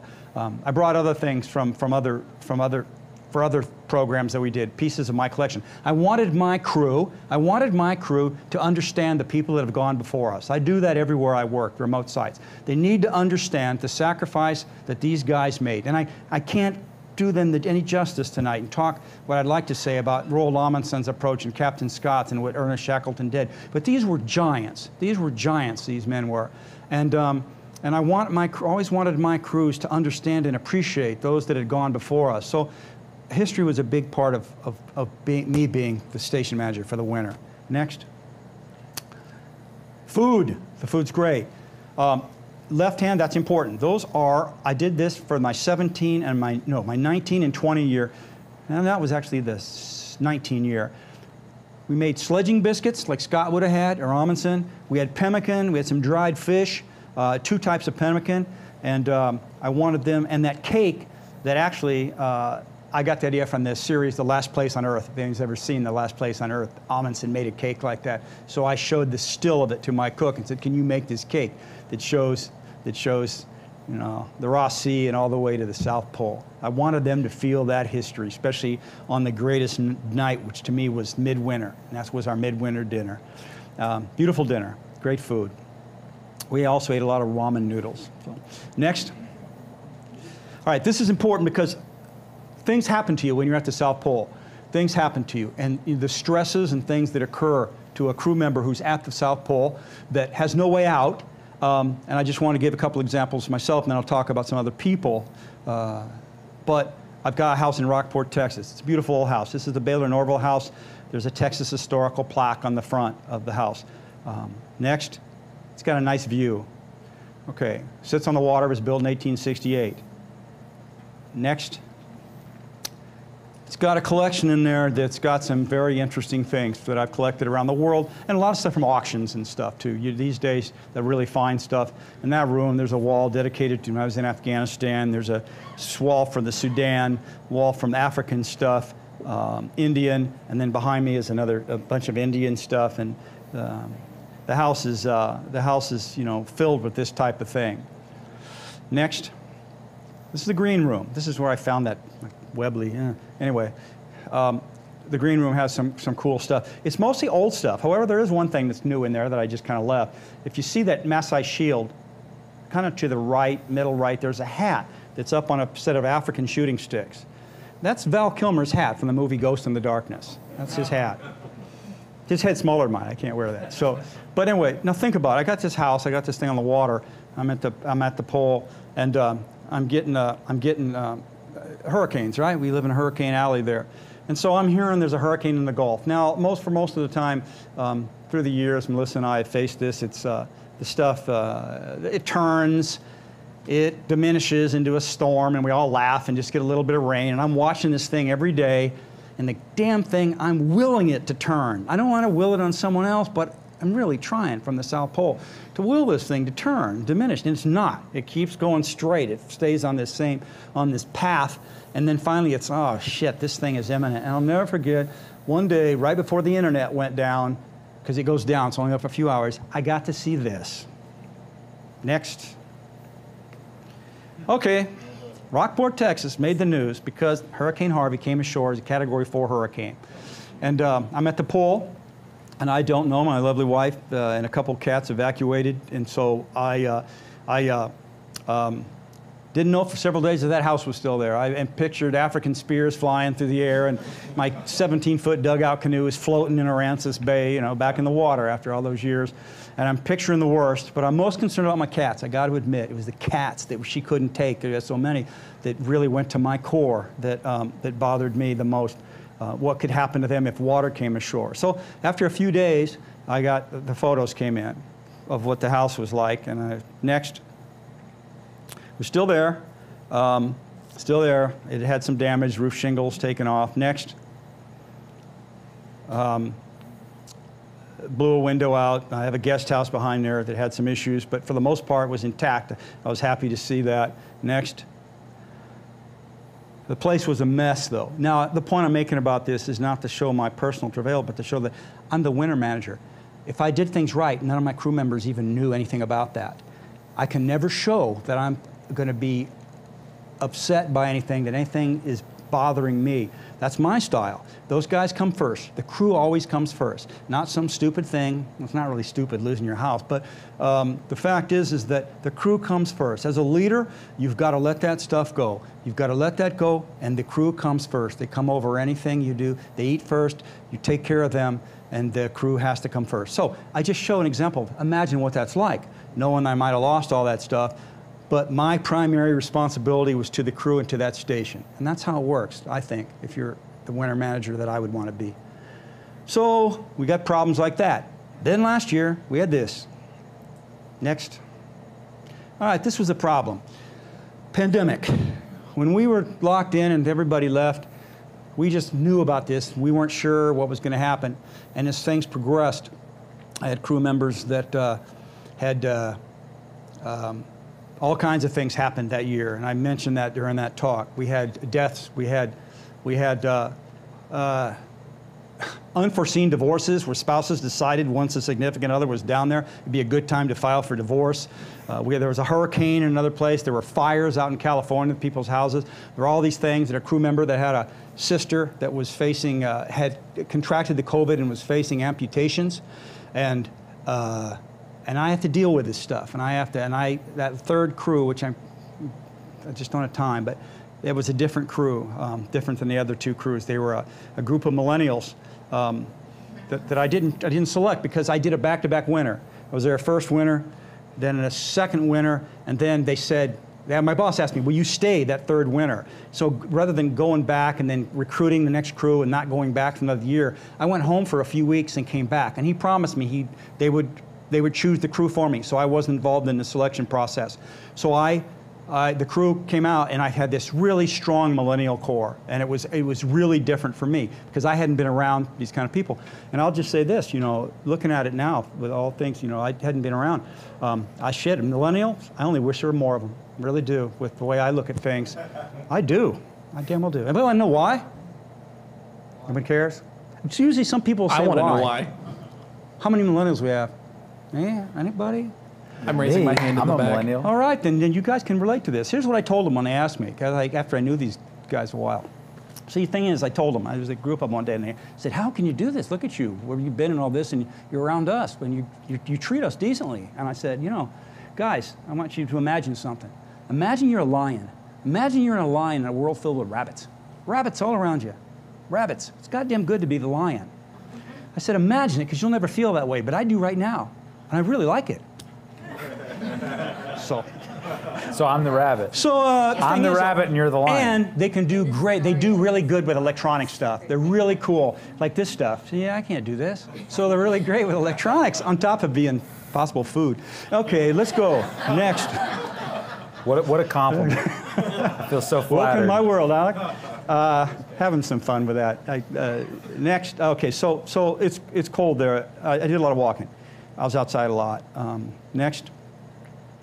That's out in the dark, wearing a, a headlamp and um, out some distance from the station. Uh, I had two routes I did, um, and I'll go into the mileage and stuff a little bit later because I So showed Wayne, graphic. I, I really don't mean to interrupt yeah, your no, flow. do do.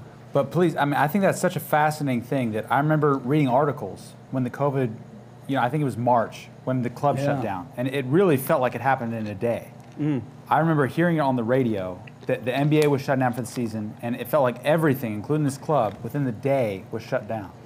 So you being so isolated from Yeah. that, in kind of an ironic way, because you'd expect at the South Pole that you were prepping for all these personal emergencies that you could encounter. I'm Sure, Absolutely. I'm sure you had a plan for walking the people out. You know, Absolutely. We, we, we talk about it. I don't know if joke is the right word, but talk about, you know, what, what if the fuel were to stop coming? What, you know, what is Yeah, the yeah. evacuation plan if no one comes Yeah. for you?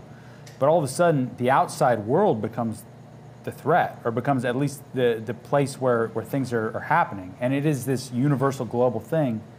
What is the experience this your third winter in? Yeah. When all of a sudden these crew members, especially a lot of them young people, Yes, talking were. about we're having family that are scared about this or getting sick, and they're in a place where they are almost, as you said, on the moon. Yes, almost could have been. as it were. Like we like to say, it's easier to get back from that International Space Shuttle. When you're up there, there's a thing you can eject and stuff. We can't get out. So let me tell you that, you know, and I had some fun. I tell the millennial thing, my crew, I love my crew. I loved every one of them. I'd have done anything for any of them, um, besides eat them. But um, thing is, is, uh, is uh, um, that was, uh, was extraordinary where we didn't know. We didn't know at first. The thing, as you guys witnessed here, I'm listening to the news and seeing they're all, they're buying all the toilet paper. What the hell is that? You know, but the toilet paper. And then you start wearing masks. We don't know about that. We've never done that. Then, then the shit starts happening with people's families and things, and then, and then these other things that occur. And um, interestingly enough, uh, when I mentioned that I have a golf, I do, and I want to keep it, and I would do that. I'm not someone's buddy there. That wasn't my thing. Um, but they could come to me at any time, and I was really always happy that people would come in and tell me things that sometimes with the younger people, uh, it's like, did I really need to know that? But you know, it was like, if they, I'm honored that they trusted me enough to tell me about their sex life and about, you know, how it was going and all this. Um, so, uh, um, so, or not going. But anyway, uh, the point is, is that it was, it was absolutely unprecedented. And I have to, I'm talking to these people and trying to help get them through the winter. And um, with these off-island, off-ice things, and there was a, there was a time, I'll never forget, I was in the galley one day, and, and it was in the, when this was hitting hard, and someone says, what do we do? What do we do if this thing morphs into a, a new type and it takes down the Air National Guard, they don't come? And I said, funny enough, I've been thinking about that been thinking about what we might do. And I had actually informally kind of looked into some things, and they thought we'd go to McMurdo, try to get to McMurdo. And I said, not necessarily. If the world is that bad, we might take another route and head up the Palmer Peninsula because it would be farther, closer to South America, and we could get food, you know, the, the sea life and things there. That'd be in a total meltdown of the world. That would be, that's the disaster case, which of course we were never near. But as a leader, I had to think about that, that what if, what if? I, I try always stay a few steps ahead. And these guys were very concerned, and I was very concerned myself. So um, it was unprecedented. I mean, it could be a movie in its own right, just about that last season. It could be a book in its own right, just that, uh, because there was nothing like it really. Be a, could be. Um, next, please. All right, it's- it's cold there. You can kind of see that's minus 101 or something, but bottom right. Next. This is getting back to what I wear. This is what I wore. I had three different kinds of things I'd wear, and sometimes I'd mix and match this. This is military type stuff. This is old stuff, actually. Military extreme cold weather gear, that's like a level, a, a generation three. That's old. They're up to like nine or something now. But that was three, and I'd, I'd wear that a lot. That was mo- almost like, you know, running clothes at drill. Um, uh, just uh, something I could wear. Um, I carried two lights, my headlamp, and then a spare. And I had two compasses because I could get back. I'd learned, I can't go into all the stuff now, there's no time, but how I could get back under any conditions, it didn't matter anymore because of what I'd done, been out. Okay, so that was what I'd wear a lot of times um, with the military type stuff. Next, this next stuff I really liked it. It was, it would, I could wear this. This is traditional. That's a that's an Amundsen anorak, um, kind of a canvas thing made in uh, made in Norway uh, to Amundsen specifications. That's what he wore at the pole when he was there. But he was there in the summer. It was much warmer, and I could wear that through the summer, and I could wear it in the winter up to about minus 60 or so with that Shackleton sweater at minus 60. Those boots are moose hide. They were they were from they were rated minus 40. I could I took them out to minus 100, but I had to be careful because I was afraid they'd break um, once they froze. Uh, my next is my next uh, is something that I that's my wolf skins. Um, let me say this for you know get anti-fur people whether it's here or online whatever. I am myself. I don't think any little animals. I don't like the thought of that raising some little animal for his fur. I think it's kind of heinous.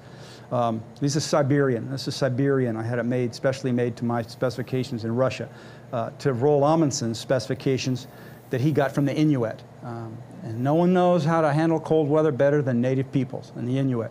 And that, uh, um, you know, with fur, it's a touchy subject. And uh, I don't give a shit what anybody thinks, what any person on the planet thinks. I apologize to the wolves, and that's all that really matters to me.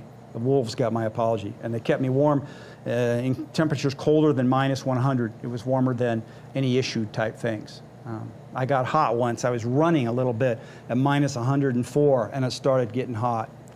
But they're beautiful, and um, when I wore those, I also I found myself if I was around people at all, they'd pet me sometimes. So I felt. I know what a dog kind of feels like now after having those on. But they got a let me tell you, the spirit is in those wolves still. And uh, uh, I always felt it, and I greatly respected them for what they gave. Next. So, Wayne, quick question. Yeah. In terms of the animal furs, did you feel that they were more effective than the modern technologies? Yeah, like to I me- mentioned, the Gore-Tex, or was it Oh, more of a connection to the history? Yeah, yeah. No, I'm not saying you couldn't do that. The stuff that the Antarctic program gave you, but to me, it just felt more natural. And um, being out wearing those, man, there was a real aura. Now, let me tell you, I'm kind of careful of those because on Facebook, I got contacted by some people that want to know where to get them. Man, no. And I had one guy who was going down there to do something on the coast, and he was gonna, you know, and I was like, dude, that's that's a goddamn photo shoot that you want to do down there. Anybody on the coast, that's that's the damn banana belt, as far as I'm concerned. The coast of Antarctica? Yeah, the coast of Antarctica. It's a goddamn banana belt. You don't wear wolf skins. That stuff, I wouldn't wear them in anything, um, anything uh, warmer than minus 50. Yeah, in the back. Speaking of fur, do you allow pets down there? And if not, Me. great for morale to have Yeah, and that is So, such. real quick, just to restate the question. Yeah. Do you allow pets at the uh, the Antarctic uh, South Pole Station, and would that be good for morale? Absolutely. We don't. And it would be super. And I actually tried. Once I had some, after my second winter, I'm going into third winter, when I had some, when the program knew me well and I had a certain level of respect where I could, you know, not look like, you know, just somebody, you know, asking a question, I pushed it once for us to get a dog. Because if you look at those first photos, that 1956 57 photo had Bravo. Bravo was down there. A dog would be a wonderful thing for the station to have. They said it violates the Antarctic Treaty. Now, I argue that, that at the South Pole, I know why you wouldn't have it on the coastal thing. It would make a bloody mess out of those penguins if it was ever loose or whatever. It really would tear them up. What? Oh, oh, yeah, take a goat. Actually, a goat, anything. A goat would be cool. A cat, you know, I'd love to have a cat. But the Antarctic Treaty forbids it. I tr- actually tried, but they, they were pretty staunch that it's forbidden. But it would be wonderful for morale. Now, didn't you take a successor, a spiritual successor, Yeah. to Mr. I forget what the, the specific name of the cat was. I Mr. gotta. Chip, I meant to bring Mrs. Chippy tonight. It is, Chippy, Mr. Chippy. Mrs. It's a long story. It's from the Shackleton expedition, and I got a, a facsimile of the of that. Was going to tell you it was a stuffed cat, but it's not. It's not a stuffed cat. My lovely wife, if I stuffed one of my cats, it's not real. I mean, it was literally a stuffed cat, right? Well, it, no, it was. I think it's rabbit fur. It's rabbit fur. It's not really cat fur, but it, it's, it's a cat. It looks like a cat, and it was. I got it um, supporting the Kent Sea Scouts, which are a wonderful group that are recreating the voyage of the Quest uh, in Kent, England, and it's going to happen this year. And it's a wonderful cause. Um, and I got it as, um, as a, for a donation, and I took Mrs. Chippy, and I, I meant to put the slide, and I didn't, to the South Pole with me, because Mrs. Chippy, which was actually a boy cat, uh, died on the Endurance expedition. It had to be shot, or different stories, what might have happened, had to be done. Terrible thing. Um, so I was able to take Mrs. Chippy to the South Pole with me. Next, please. Hey, Wayne. Yeah. Uh, when you were running, were you not concerned that uh, the cold air would might damage your lung cells since it was so cold? To, re- to restate, Yeah. when you were running at the South Pole, you were not worried that the cold air would damage your lung cells permanently in terms of that much exposure to the cold. Well, I, if you saw those pictures, I've got this balaclava over my face, and I don't know what's coming up. I think, let's go to the next slide, please. All right, well, this is a good one. Uh, I'd mark my, sometimes, that's about a mile and a half from the station. It was actually minus 100 that day, but it was minus 98 when I left the station. It was not about a mile and a half, and I thought it was funny to write that on a, on a thing. Um, I always had two balaclavas covering my face, and what I would do is as soon as I got out, I'd breathe. A lot like scuba. It felt like scuba. You're breathing, and the reason I do it is the vapor would freeze up the mask and make an ice block, and that would that created kind of a space, uh, warmth. So the ice actually kept my face warm. Um, I never wore eye protection. I'm out in minus 100, but that little bit of void, whatever it was, was enough where I can, you know, didn't lose my eyes, and I didn't. I wouldn't really want to go out. Well, I'll kind of explain later. We'll have it enough. I'll show you something. Um, I wouldn't want to go out and take a big, deep gulp of minus 100. You'd feel that, and that could damage. Next, please. So I got out. Okay, that's my sign-out board. Now, see, the thing was, when I was when I would go out, I had I was I am the leader of the um, the leader of the incident response team, uh, the emergency response team. So I had to have them kind of know where I was, and uh, so I made that board up, and then where they could see um, from that board, they had instructions to uh, uh, where I was and um, what to do if they couldn't find me. Uh, very easy process there. And then in the bottom right, I kept track of my miles. Okay, next. This oh, almost done. This was the day I hit 4,000 miles outside. Now, this was a few miles a day. I never missed a day. In the time I was there, I never missed a day.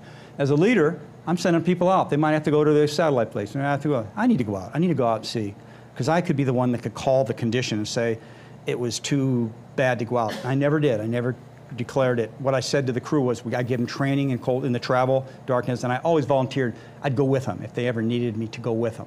Um, it was not. Um, it was not pleasant sometimes, and to not miss a day in those years is, a, is, is fairly remarkable.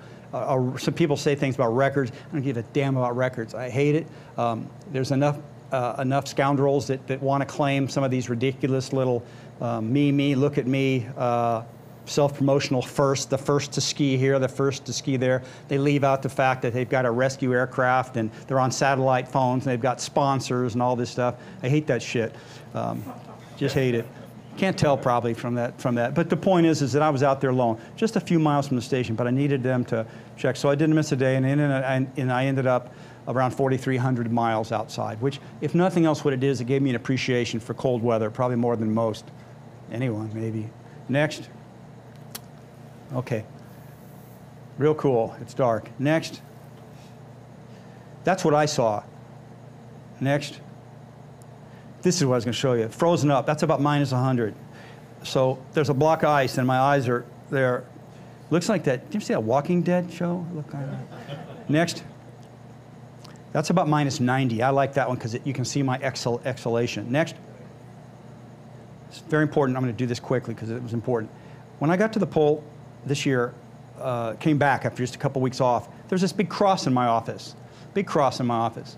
And uh, big wooden cross. My boss, and my boss said, Wayne, the, these Italians brought it on the tourist aircraft, and they said, can we plant it at the South Pole at a certain time on Easter, and they're going to do a simultaneous thing at the North Pole at the same time. And that cross, and the, there was a rosary, and the rosary was blessed by the Pope. So it was a big deal. The great Papa in Rome kissed and did whatever he did with that rosary, and then I got this big cross. Now the U.S. Antarctic program is pretty secular. They don't, you know, it's not a, you know. So I was kind of surprised, he wanted me to do it, but you know, uh, they didn't ask me to do it. My boss just said these guys want these Italians. So I debated, what the hell do I do? You know, what do I do? I'm not a Catholic, but uh, didn't matter. On Easter, I got to thinking about it. And I thought the only thing right to do was to just do just that. So on Easter Sunday, next, I carried that cross and I planted it at the South Pole during the midst of this COVID crisis with that beautiful cross that says so much about Christ and uh, people was planted at the South Pole. The uh, North Pole thing never happened because of the COVID. They didn't simultaneously do it, but I did my part. Next. I hope to make up for a couple of things in life by that. fact.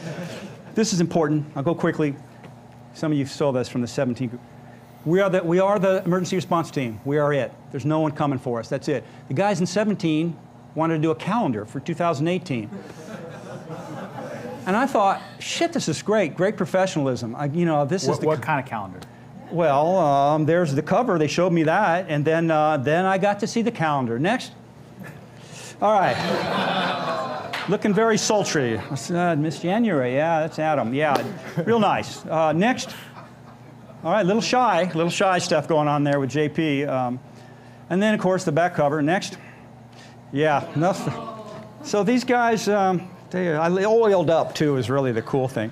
Um, but all kidding aside, next they took this stuff really seriously. These guys drilled and were uh, all my all three of my crews had fantastic emergency response, um, and they drilled and drilled and drilled, and we could handle by especially the last two especially the last two years could handle any kind of thing that we could face at the South Pole. I was very proud of them. Next, this is technical rescue. Like what we would do if someone's outside and they're in you know terrible situation, how we would be able to move them. Next. Sun comes up eventually. Next. Beautiful shot Danny Hampton did. Danny Hampton, the steward that did the video. Next. That's me. I was taken after a seven mile walk in minus 104. Next.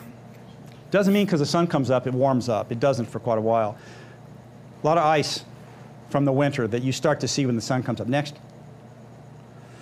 We got to get the skiway ready for the aircraft to come. Next. Ugh. My 2020, the Millennium crew, Millennial crew wanted to do a social undistancing party, and I broke a little bit of my normal aura, whatever you want to call it, to do this. Next, they were all over each other, you know, social undistancing, and I'm in the bottom of that pile. Next, they're great folks. What do we do? Take the flags down. Next, these are flags that have been at the ceremonial pole for a year.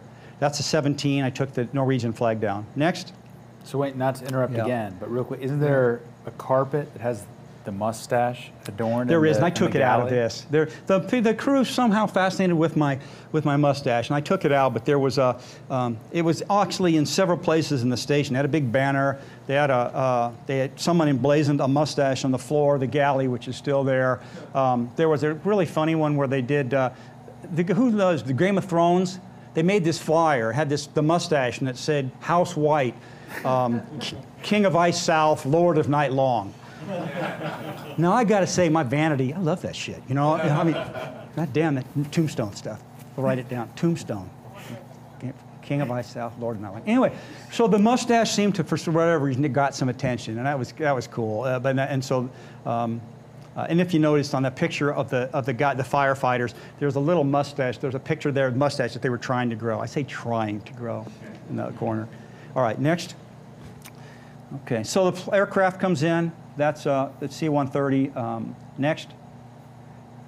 That's a Basler. This year we didn't even have C-130, so the, the, the arriving group and we left on these little Baslers. Next. So this is important. As a, as a winter over, you receive the Antarctic Service Medal. Um, the Antarctic Service Medal uh, is really cool. Um, and as a winter over, meaning you spent the entire winter at the South Pole, you get a little clasp that goes on the ribbon part. Uh, it starts with the first winner is uh, bronze, second winner is, uh, is uh, gold, and the third winner is silver. And then after that, it, you don't get another one. Silver is the highest. So, uh, a little, little statistic in 64 years of the South Pole Station, um, only, besides myself, only two other winter managers ever came back for a second winter. Only two in 64 years. There's a reason for that. It's not an easy job, and there's some sad stories, quite frankly, of what happened during those years. Hell, I liked it. I came back for a third, so I'm the only one in history that you know winter manager did three winners. Which uh, you know, again, I'm not into the record shit. Doesn't matter to me. But it means I do have a, um, that is a distinction, and I do treasure that, that medal. Next. So, so nobody else has the silver class. They do, but they don't have it for being in that position, you know, in that, as, a, as the winter manager. Like I say, only two others did two winters where they would have gotten the, where they would have gotten the gold, and no one ever did the silver. And uh, again, it's no big deal, but it's, um, it meant something to me. Next. Okay. We fly away. Bye, South Pole. Next. Fram, real quickly, because I do want to show a little short video, and I this is important. You guys will, it'll be worth the wait. It's only a couple minutes long, but it, it's a good way to end on. Fram, that was Amundsen's ship, the Fram. Um, the flag that I took my first winter, next, was a Norwegian flag. I'm on board the Fram. That's in Oslo, Norway, with our crew signed Norwegian flag, along with a patch. We have a patch just like a, our crew has a patch just like a, a space mission patch for that 2017 crew, and it's signed by the entire crew. And I took the crew with me, in essence, to the Fram in Oslo, Norway. Next. For my 2019 year, that's Scott's ship Discovery, which is up there in um, Dundee, Scotland. Has anybody seen it? Dundee, Scotland. Uh, next. For that, I took that year. I took the British flag, same thing, crew patch, signed. Took it to the uh, took it to the uh, the ship. Got photos taken. Um, uh, I got an American flag for the last year, and I'm, we don't have a famous ship like that, so I'm going to, there's we have famous aircraft, so I'm working that out, but the COVID thing kind of screwed that up. Um, okay, now I'm going to, this is the end, except I, I need to do this last video, and it is important, and you'll understand why. Okay, so go to the next slide. Look at that. All right, so that's the end of the slide presentation. But can I get you to cue up that that video, the 2.0, please. And you'll say you've seen this before, but it includes the outtakes, and I'll explain what really happened. We're ready. Wayne, Wayne Go ahead. Give me the word. All right, here we go. Greetings from the South Pole. I'm Wayne White, the winter manager at the Amundsen Scott South Pole Station. Folks, did you know Antarctica is actually classified as a desert? It's the highest, driest, coldest place on the planet. But make no mistake, I'm the captain of a ship. A ship that sits on nearly two miles of ice. This two miles of ice is moving. It's moving that way at around 33 feet per year. In thousands of years, this ice that I'm standing on will find its way to the sea and then into our beautiful southern oceans. That's why it's important that we monitor the health of this Antarctic ice cap, as it will have an effect on the health of our ocean and its levels. So what do we do here? First of all, we survive. We survive in one of the most inhospitable environments on the planet. The current air temperature is minus 80 something with a wind chill making it around minus 130. That doesn't keep us inside. Personally, over the last three winters I've been here, I've walked 3,500 miles outside and should hit my goal of 4,000 miles uh, by the time I leave in November. But what else do we do here? Most importantly, we do some very cool science. Let me show you a little bit of that. First, we have our IceCube Laboratory. This is a neutrino telescope. Imagine a cubic kilometer of ice with over 5,400 embedded detectors. These detectors detect neutrinos coming in from nuclear forces in stars and black holes. Then we have the South Pole Telescope. This is a 10 meter microwave dish which detects the echo of the Big Bang and birth of the universe. Next, we have our MAPO. This hosts the BICEP array, which also looks at cosmic microwave background and is looking for evidence of inflation right after the Big Bang. Then we have our ARO. This is a part of a global network that monitors gases in the Earth's atmosphere oh, like to this. track and model human impacts. For World Oceans Week, here at the South Pole, I'm Wayne White. Okay, folks, here's the deal. That looked really nice. I thought I could do that in one take. I thought I could do that in one take as I had done the previous minute at the mic. It turned out I couldn't do it in one take. So this is the kind of behind the scenes of what happened, what Danny Hampton and I actually faced to put that together. Gotta wait for the synth, synth soundtrack to fade out. Here we go. Son of a bitch, yeah. Okay. See, you can check your light too this way. Testing, testing, one, two, three. Wow. Yow. That shit. hey, toward the Weddell Sea. The ice I'm standing on. Lost the camera. Ah.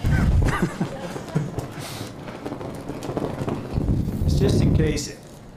I'd rather freeze for a purpose. Oh, I should have put some different pants on.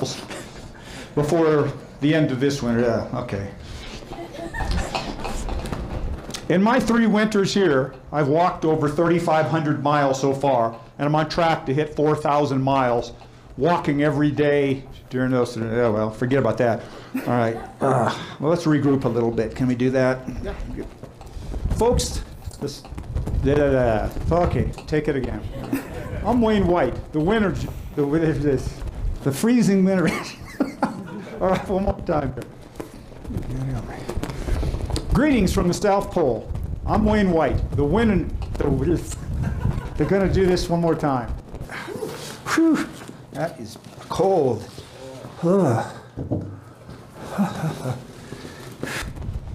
Right now it's a minus 82 Fahrenheit. Yeah, yeah. Okay, let's regroup a little bit inside.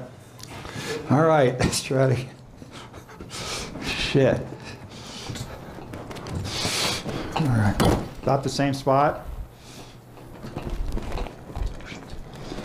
What's it called? World Oceans Week? I think it's World. Okay, yeah. Yeah. For World Oceans Week, yes, let me do this again. For World, one more time, it's World Oceans. For World Oceans Week, here at the South Pole, I'm Wayne White. Cut. I think we got it, Danny. I sure shit don't want to do too much more of this. All right, thank you, folks. Thank you. I hope you enjoyed that. I know I went a little long, went long, but hope it was worth your time. No, th- thank you so much, Wayne. So I think I'm, I'm assuming we're going to have some questions from the audience and probably some questions from the chat. But before we get into that, I have a question. Sure. And because I'm sitting in the chair, Yeah, yeah. I get You get to go know, first, yeah. Special privilege. Um, so you obviously have a huge connection to the historical uh, precedence of exploring the South Pole, being down there, and you made an interesting comment about you know your, your big quote, Herman Melville from uh, uh, Moby Dick. And I haven't read the book in a long time, but I seem to remember a scene that stood out to me, and I, I could be totally wrong. But there is a scene where Ishmael almost breaks through to Captain Ahab, where it's almost like you could give up this hunt. You don't have to hunt this white whale anymore. You could just go home and it'd all be fine. And Ahab is, I believe, in tears in the scene and expresses that he can't give it up, that he's so obsessed at this point that he's almost cursed to chase this white whale forever. And so I guess this is in some ways kind of a two part question. If that scene is accurately I think it was Starbuck that did that. fair enough, but there is a scene where Ahab I there believe, is. is, is almost yeah. willing to give up the chase. Yeah. Having done three winners over, which it sounds like is, is a record, nobody's done three winners Well, over. let me let me be clear about one thing. I'm sorry I get interrupted because there's something I should have said. My, the reason I don't tout the three winners, the record for winners at the South Pole is around 15, and that was done by science personnel. And not to take anything away, it's different what they do. They come in and they do their thing and all that. Still, I know both guys. One guy's at 15 and one is 14. Um, uh, it's just a different situation. But as a leader, they don't come back. So back to Fair, fair enough.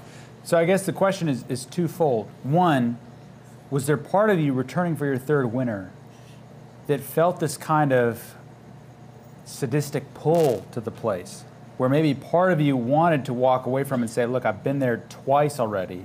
I don't need to do it a third time, but felt compelled almost by obsession to do it. And then the second part, and I hope, you know, within reason you can be honest about this because I believe this is the Adventurers Club Sure, where we're sure, honest about these things. Having such a reverence for the history of the place and the courage and the brutality that, that the historical figures endured to explore it, being faced with an unprecedented event like the COVID pandemic, was there part of you that almost relished the contingency plan to have to walk your way out? to face those elements in person the way that your historical idols face them? I think those are really excellent questions. I, I, I appreciate the thoughtfulness of that. Um, as far as my own obsession, I am certainly obsessed. I'm on those iron rails doing what I'm doing, whether it was at the South Pole or whether it was in, New, in expeditions in New Guinea. This thing is, uh, I'm real harsh on modern on the modern world, on some of the books that come out, some of the articles I read, the the damned um, uh, the uh, reality TV, not with where I've been, and I see this embellished bullshit, and the the the uh, and the pole's rife with it, with everybody trying to do a first. It'll be a pogo stick next, first a pogo stick backwards. That house I live in, that's not just a house, it's a goddamn monument. It's a monument to these people. That ring Melissa's wearing, that's Henry Morton Stanley's ring. You know what he did? If you don't, research it. There's never been a tougher guy than that guy crossing the Congo like he did. My obsession, quite frankly, is honoring and, and, and acknowledging what they did, and so it puts me in a weird situation where the current, what's going on currently to me is almost laughable at times. Um, so, so, but I do have an obsession to try hard and to push, to push harder. And, um, but it's tempered with the fact that that crew came first, that as a leader, and that's something I learned over those 25 years, and that's something I learned on my own expeditions in New Guinea, where because of me, my crew, I took Highlanders out of, out of the highlands down into the swamps and they got malaria. I caused them to get malaria. My will, my vanity, to do this expedition to get from the interior to the coast, which I don't know anyone's done that. I'm not right, didn't write a book about it, um, but uh, caused that to happen. Uh, lessons learned. As a leader, you have to make some unpleasant decisions. I didn't have to do that, but I do have an obsession. Um, I wouldn't. I don't know if it's unhealthy or not. I don't know. It's just what I am. It's just kind of what I am. Whether that is unhealthy, uh, maybe some could find it that way. I don't know. It's just I'm on those iron rails, and um, I try, though, to make sure that I don't forget what Ahab did forget and never knew, or maybe he lost sight of. You don't need to kill that whale. You need to take care of that crew. That's the first part. The second part was about the about the. The, the question was is, is whether at some point in some dark recesses of your mind, the prospect of having to walk your way out. Oh the yeah, prospect yeah. Of losing support Yeah. in terms of feeling the, the Yeah, historical yeah. connection to those men that endured that. If there was some party that relished that opportunity. Here's the thing. I mean, quite frankly, you know, I walk in these guys' shadow. My house, with the things that are in there, I'm in these great men's shadow. Uh, you know, like I say, that's why I rail against some of this stuff now. The me, me, look at me, um, writing books, doing the things people do that to me are tourist things for the most part. Uh, because I know what that guy did, shot himself, or shot him, his way across Africa. Too bad he had to do that. Or a David Livingstone that was out in the jungle doing the things that he did and to, to, to help, to try to help in the slave trade. I knew what these great men did. And when I'm in that house, I'm in their shadow. So I look at things, I look at things like I'll never do the kind of things that they did. That doesn't mean I can't have some adventures, and that doesn't mean that I'm down on, you know, guys here that whatever adventures are. We all have different views of what they are. Would I love the ultimate adventure? Would I have loved to have walked to the coast? Yeah, except for the fact that if we had got to that point, my wife would probably be dead. And it would have been, because it would have been so bad before someone couldn't come get the process, it would have been so bad that some new virus with a new mutation was raging that took everybody out. And then what are we doing? So the world as I knew it would be dead. So I would be one of the epic journeys that no one would ever know about, making it to the coast. Yeah, a little bit wanted to do it, but not to the, not to, to, to you know, world ending. I still have some ideas for some things that I want to do, and we'll see how it, how it goes. I'd love to, I measure myself against those greats. Um, I do. Um, uh, I think you need to do that. Keep, you know, there's, there's, that's what I look at, not you know, some contemporary. Did I answer your question? Yeah, I think absolutely. And I'm sure we have some questions from the audience. If we have a mic going around, we'll Yeah. start. And then I'm sure we also have some questions from the chat. Sure. I'm sorry. But keep let's start with from the audience. Whoever's got the mic. I'll just speak up. So, um, the foundation, why doesn't it melt and the building sink if Yeah. it's built on ice? So re- real quick, just to restate, Mm-hmm. the foundation of the building, why doesn't it melt and just sink into the ice year after year? It kind of does, And that's, and I didn't really point it out because I was trying to hurry, but that's how we sort of lost the first. We get about a, a foot of new ice every year there. About a foot of new ice comes in. And what happens is it sort of buries the building and maybe it sinks somewhat. That, that's why we lost the first, the fir- old pole. That's why the dome, by the time it was done, that once sat on top of the ice, was under the ice. By the time it was done, you had to drive down to it, and finally they, that was it. So that elevated station sits on pedestals, big pedestals, and it's aerodynamically facing into the prevailing wind. So you have prevailing wind that kind of scours, and it can be raised. It can actually be raised, so it'll we'll get more use out of the elevated station than those other stations. Does that answer that? Because it would, it'd sink and be gone. Okay, what else? Yes, let's see. Wait, real quick, Andy. Any any questions from the chat? Yes, thank you so much for joining, folks. Uh, in the chat, first question is uh, in regards to your running attire, can you walk us through how you um, how you trade off warmth for mobility Yeah. down there? My, you know, my running attire was quite primitive, except for my shoes. I had these really cool modern shoes with spikes, kind of plastic spikes, and they had a, they were made by a French company. They had a zipper that zipped up over the laces. But my running attire was cotton, was basically cotton and thermal type stuff. I didn't have the hi-fi cool jackets and things for running. And I don't know how many of those miles, some of it was running. Um, I uh, am a runner. I, I started logging in my miles in 1981 every day that I ran, and I've logged in about 45,000 miles um, in those years.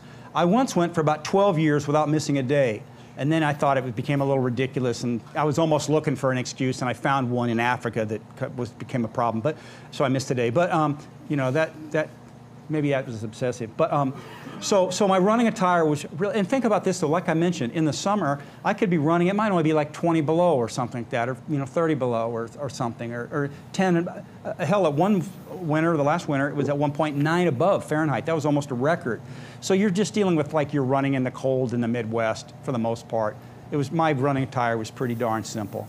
Okay, I think that's a good question. All right, next question we'll take from the audience. I see you back there. Yes, sir. Yeah, as a, as a kid in the 1950s, my impression of the polar exploration was always, part of it was always like focused on frostbite. So what, how, was that a problem, you know, with the, Yeah. the three years? You know, I'm sure you had really good ways to, to prevent it or. Yeah. So, so the question to restate it was the prevalence of frostbite amongst your crews over three years. Is how much was that a factor, and what did you, what plans did you have to mitigate that? Yeah, we did. The first thing was training, training on the cold weather, and I have a presentation I did after my set, first winter because then I gained so much knowledge where I would do the training and um, to discuss how to dress, how to be careful, and all this stuff. And yet, we did have crew members with frostbite. We had some crew members came in with their face uh, that was frostbit. Um, we had one guy with feet one time. He didn't lose toes or anything, but he was out too long, and that happened. I would have cases where stuff would burn. Uh, you, I call it a burn. There's a, one of the photos you can't see you see it kind of close up. I'm wearing, I, I learned to wear this Band-Aid thing on my nose right here. Uh, it's some reason that would just, that would keep this bridge because it was burning and it was getting, it feels kind of funny to this day now. I think something's missing, but um, from earlier trips. But I would, anyway, I would, uh, I would get, I would get it around the eyes and things and sometimes things like that. I also know from doing things outside where I had to take my gloves off, um, you know, they talk about going to sleep, freezing, going, God, it hurt. When I was out and I had to take my gloves off to do certain things, um, the pain was excruciating, and it would take me several minutes to get the circulation back. So, you know, we got the right clothes, the training, and then you're careful, but we had frostbite. I looked at it as kind of a, a badge of someone that screwed up. And I, if it was me, I'd be I'd mortified that they'd see something on my face or something. Man, I screwed up. Yes, sir. Uh, after you return, what is your Hey, re- contact- real quick, Pierre, wait, wait for the mic. We got the mic now. Thank you. Um, after you returned, what is your contact with the team members you were down there? Yeah, what, the 2020 group actually has their own Facebook page. And I, I was actually going to have a team member here tonight for my 2017 crew. And he couldn't make, he got sick at the last minute. Said it wasn't any problem. He said he couldn't taste. And um, actually, that's what he said. And he goes, okay, maybe you should stay home. but uh, no, we, it's a tight group, let me tell you. I didn't bring it. I forgot to bring that, my ring, but I actually have a ring that has my number. We have numbers. My number is 1522. The 1,600 people, approximately 1,600 people, have wintered at the South Pole. 5, thou- over 5,000 have climbed Mount Everest. It's a very exclusive group, and we stay in contact. There's actually a database that has us all listed in there, and a number of winters and things that we've done. It's a tight group. Well, I, I hate to undercut that, but there's even fewer members of the Adventurers Club of Los Angeles. Oh, look at that. so there we go. There you so, go. So real quick, we're gonna go. I think another question from the chat, Andy. Yeah. No. Andy's passed at the time. Okay. I've Okay. heard that uh, the poles that the common colds don't exist. Once you get together and share all your bacteria and viruses and things like that, uh, does anybody come down with a cold during the time that you're down there? That is a fantastic question. No one's ever asked me. And the fact is, we have what we call the crud. Flying in there, usually after after going through uh, um, all that long trip from Colorado down to the pole and all this, you every almost every time I was sick, and and it's disgusting. It's like a, a flu, you know, sore throat and all that. But once you've been through it, we don't get sick in the winter. We might have other ailments, you know, I want to say foodborne because I don't want to say anything about my galley staff, but a few times we had some cleansing opportunities due to whatever the hell. Um, so you, we don't get sick during the winter. Like we don't get colds. It stops. It's really cool. Yes, sir. Great. For the average crew member, what's the toughest part of wintering over? I think it's, it's, it's funny enough, it's interesting. I talk about the young guys. When I interviewed them, one thing where I could see their face just fall was when I explained about the lack of connectivity and slow internet speed and no phones. That would be like to them, because these young folks, they live on them, right? They live on those phones. You got up there on all the time, walk around, they don't even look. I was, saw two people on a date once. They're on a date. They're sitting across the table, and I was at a bar. I was a bar. I had a scotch, so I was pretty talkative. But uh, um, they're sitting, and they're both on this little thing, and she's looking over. It's a nice young couple. And I said, What are you doing? And they said, Well, we're on our first date. It's like, What are you doing? But then I found out later you're supposed to, like, you, you, if it's not going well, you then tell someone, My apartment's flooding, and then you get to leave, whatever. So there's the strategy.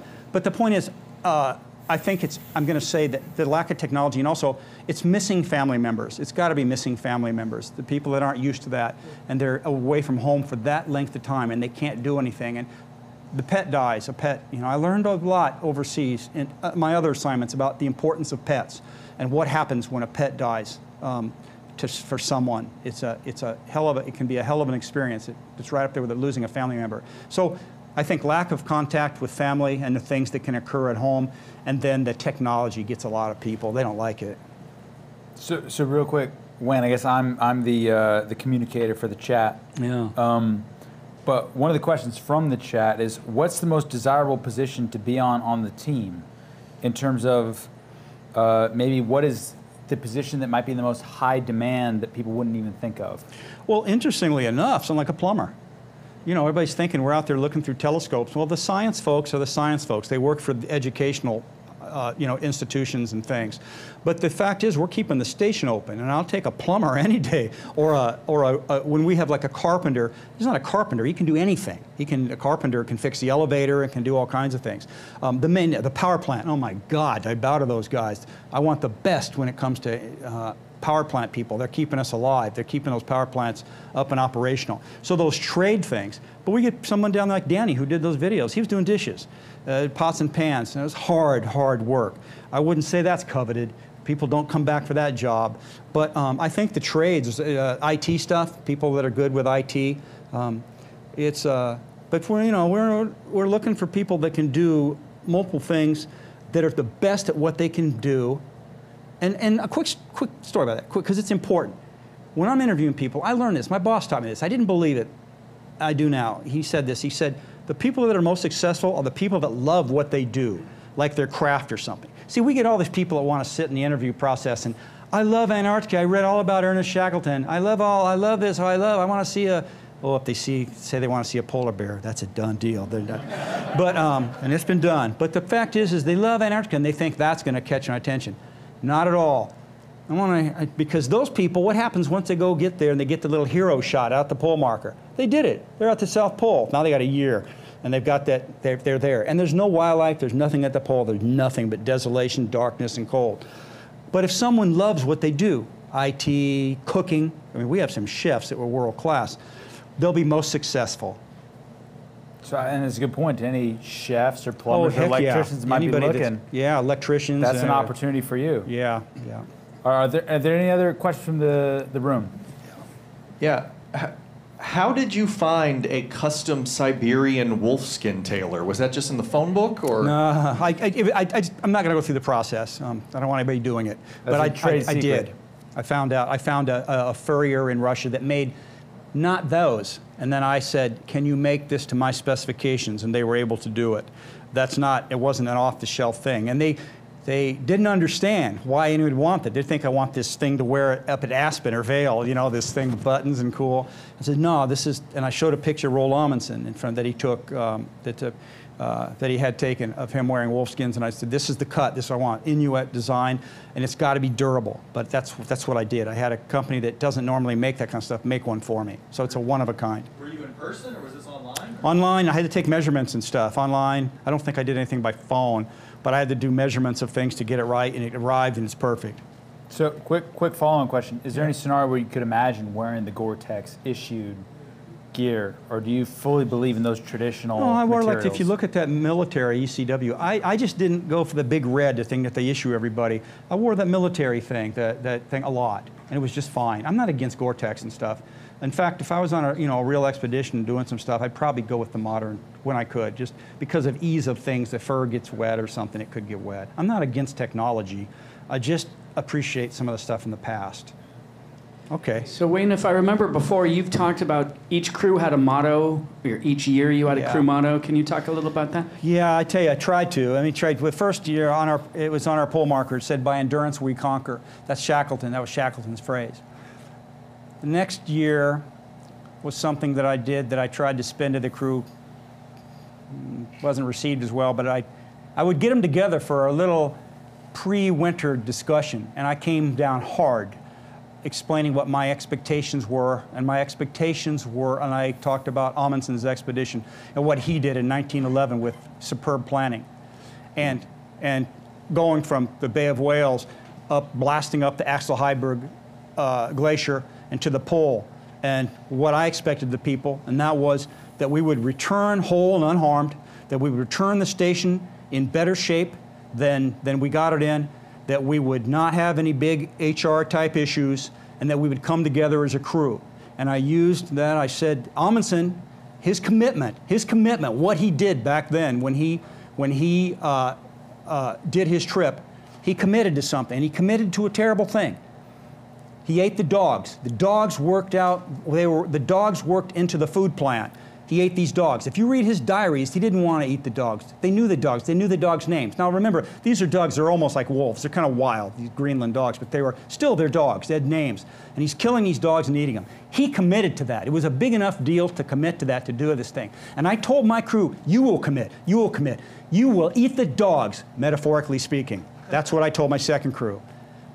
But also literally, if need be. Well, we had no dogs, but the thing was, was um, uh, it was received somewhat lukewarmly, I think, because if they do a Facebook post that they ate the dogs, you know, but it's on the pole marker. It's on that pole marker for eternity. We ate the dogs. And then I tried to spin for the last one. I tried to spin the Iron Way that comes from the end of that. But my crew, they weren't the Iron Way. It was different. I was. I mean, I, I lived that, but they weren't. They were different. A good, great group of people, but I can't force that on them. But that's what I, what I wanted.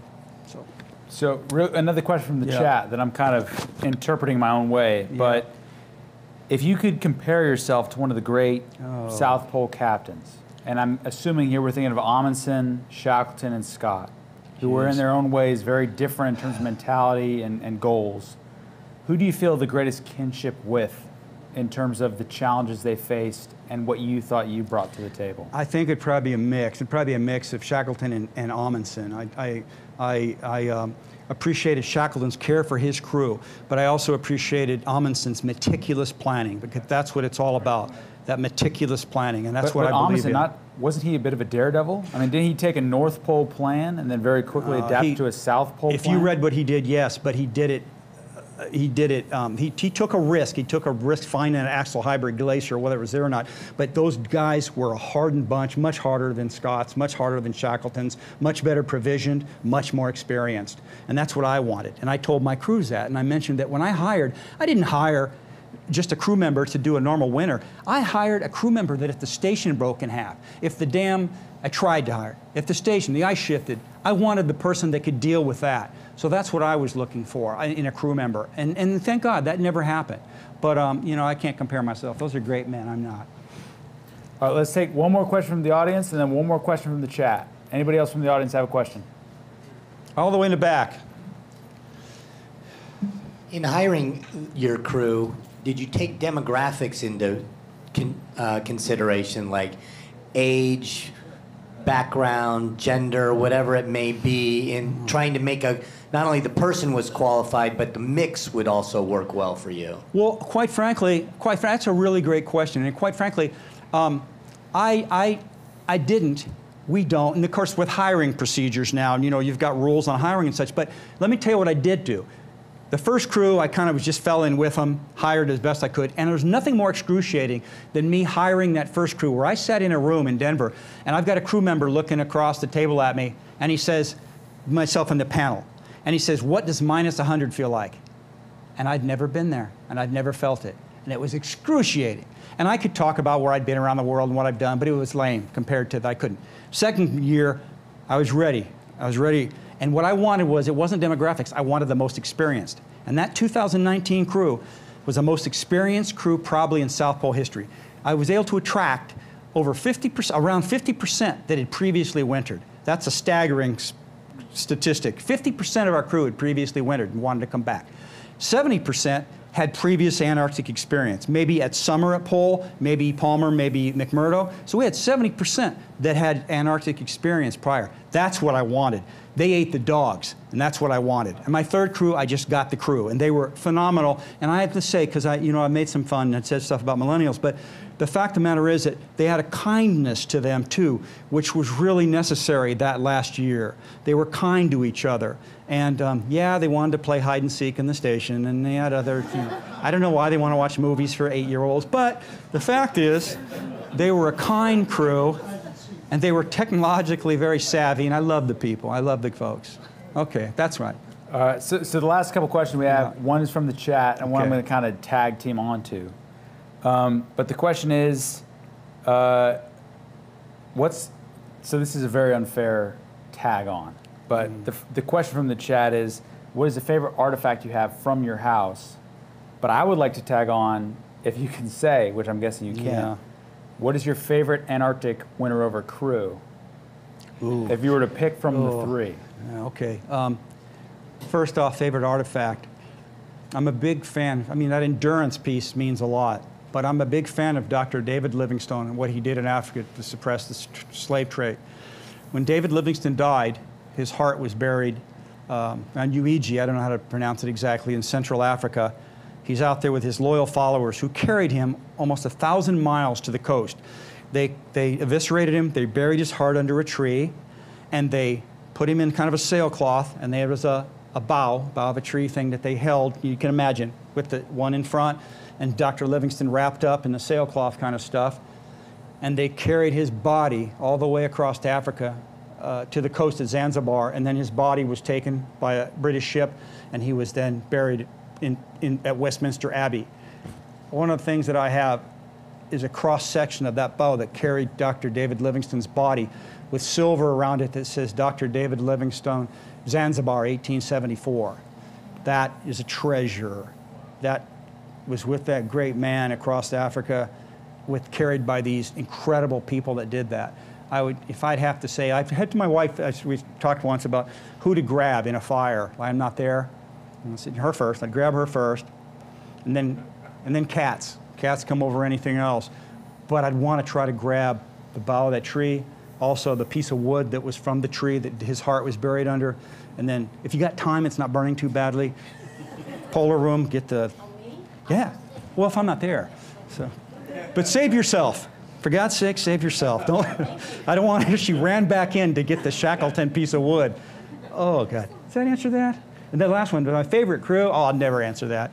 There I we go. never. I, I figured as much. yeah, they were all different. They were all different. They're all wonderful people. So real quick, Wayne, you have more experience, I think, than anybody at the South Pole in terms of wintering over. uh, uh, is in my position. In my position, let's qualify it. I don't, I don't, like I say, I don't like silly records, but I, uh, in my position, I do. And um, uh, and I was outside a lot, and so that that you know, there's a distinction to that, which again, I don't like. I like numbers and firsts and this and that, but it meant I was outside in some really terrible conditions a lot, and that when you're out there alone and you're walking and you're in that place, and you're thinking there's nothing quite like it, and that's why I try to capture in this book that stuff, you know, the, the psychological. And my being alone, I was alone on those crews, and I loved them all that they, they were my crew. They're my crew. Well, we, we appreciate humility.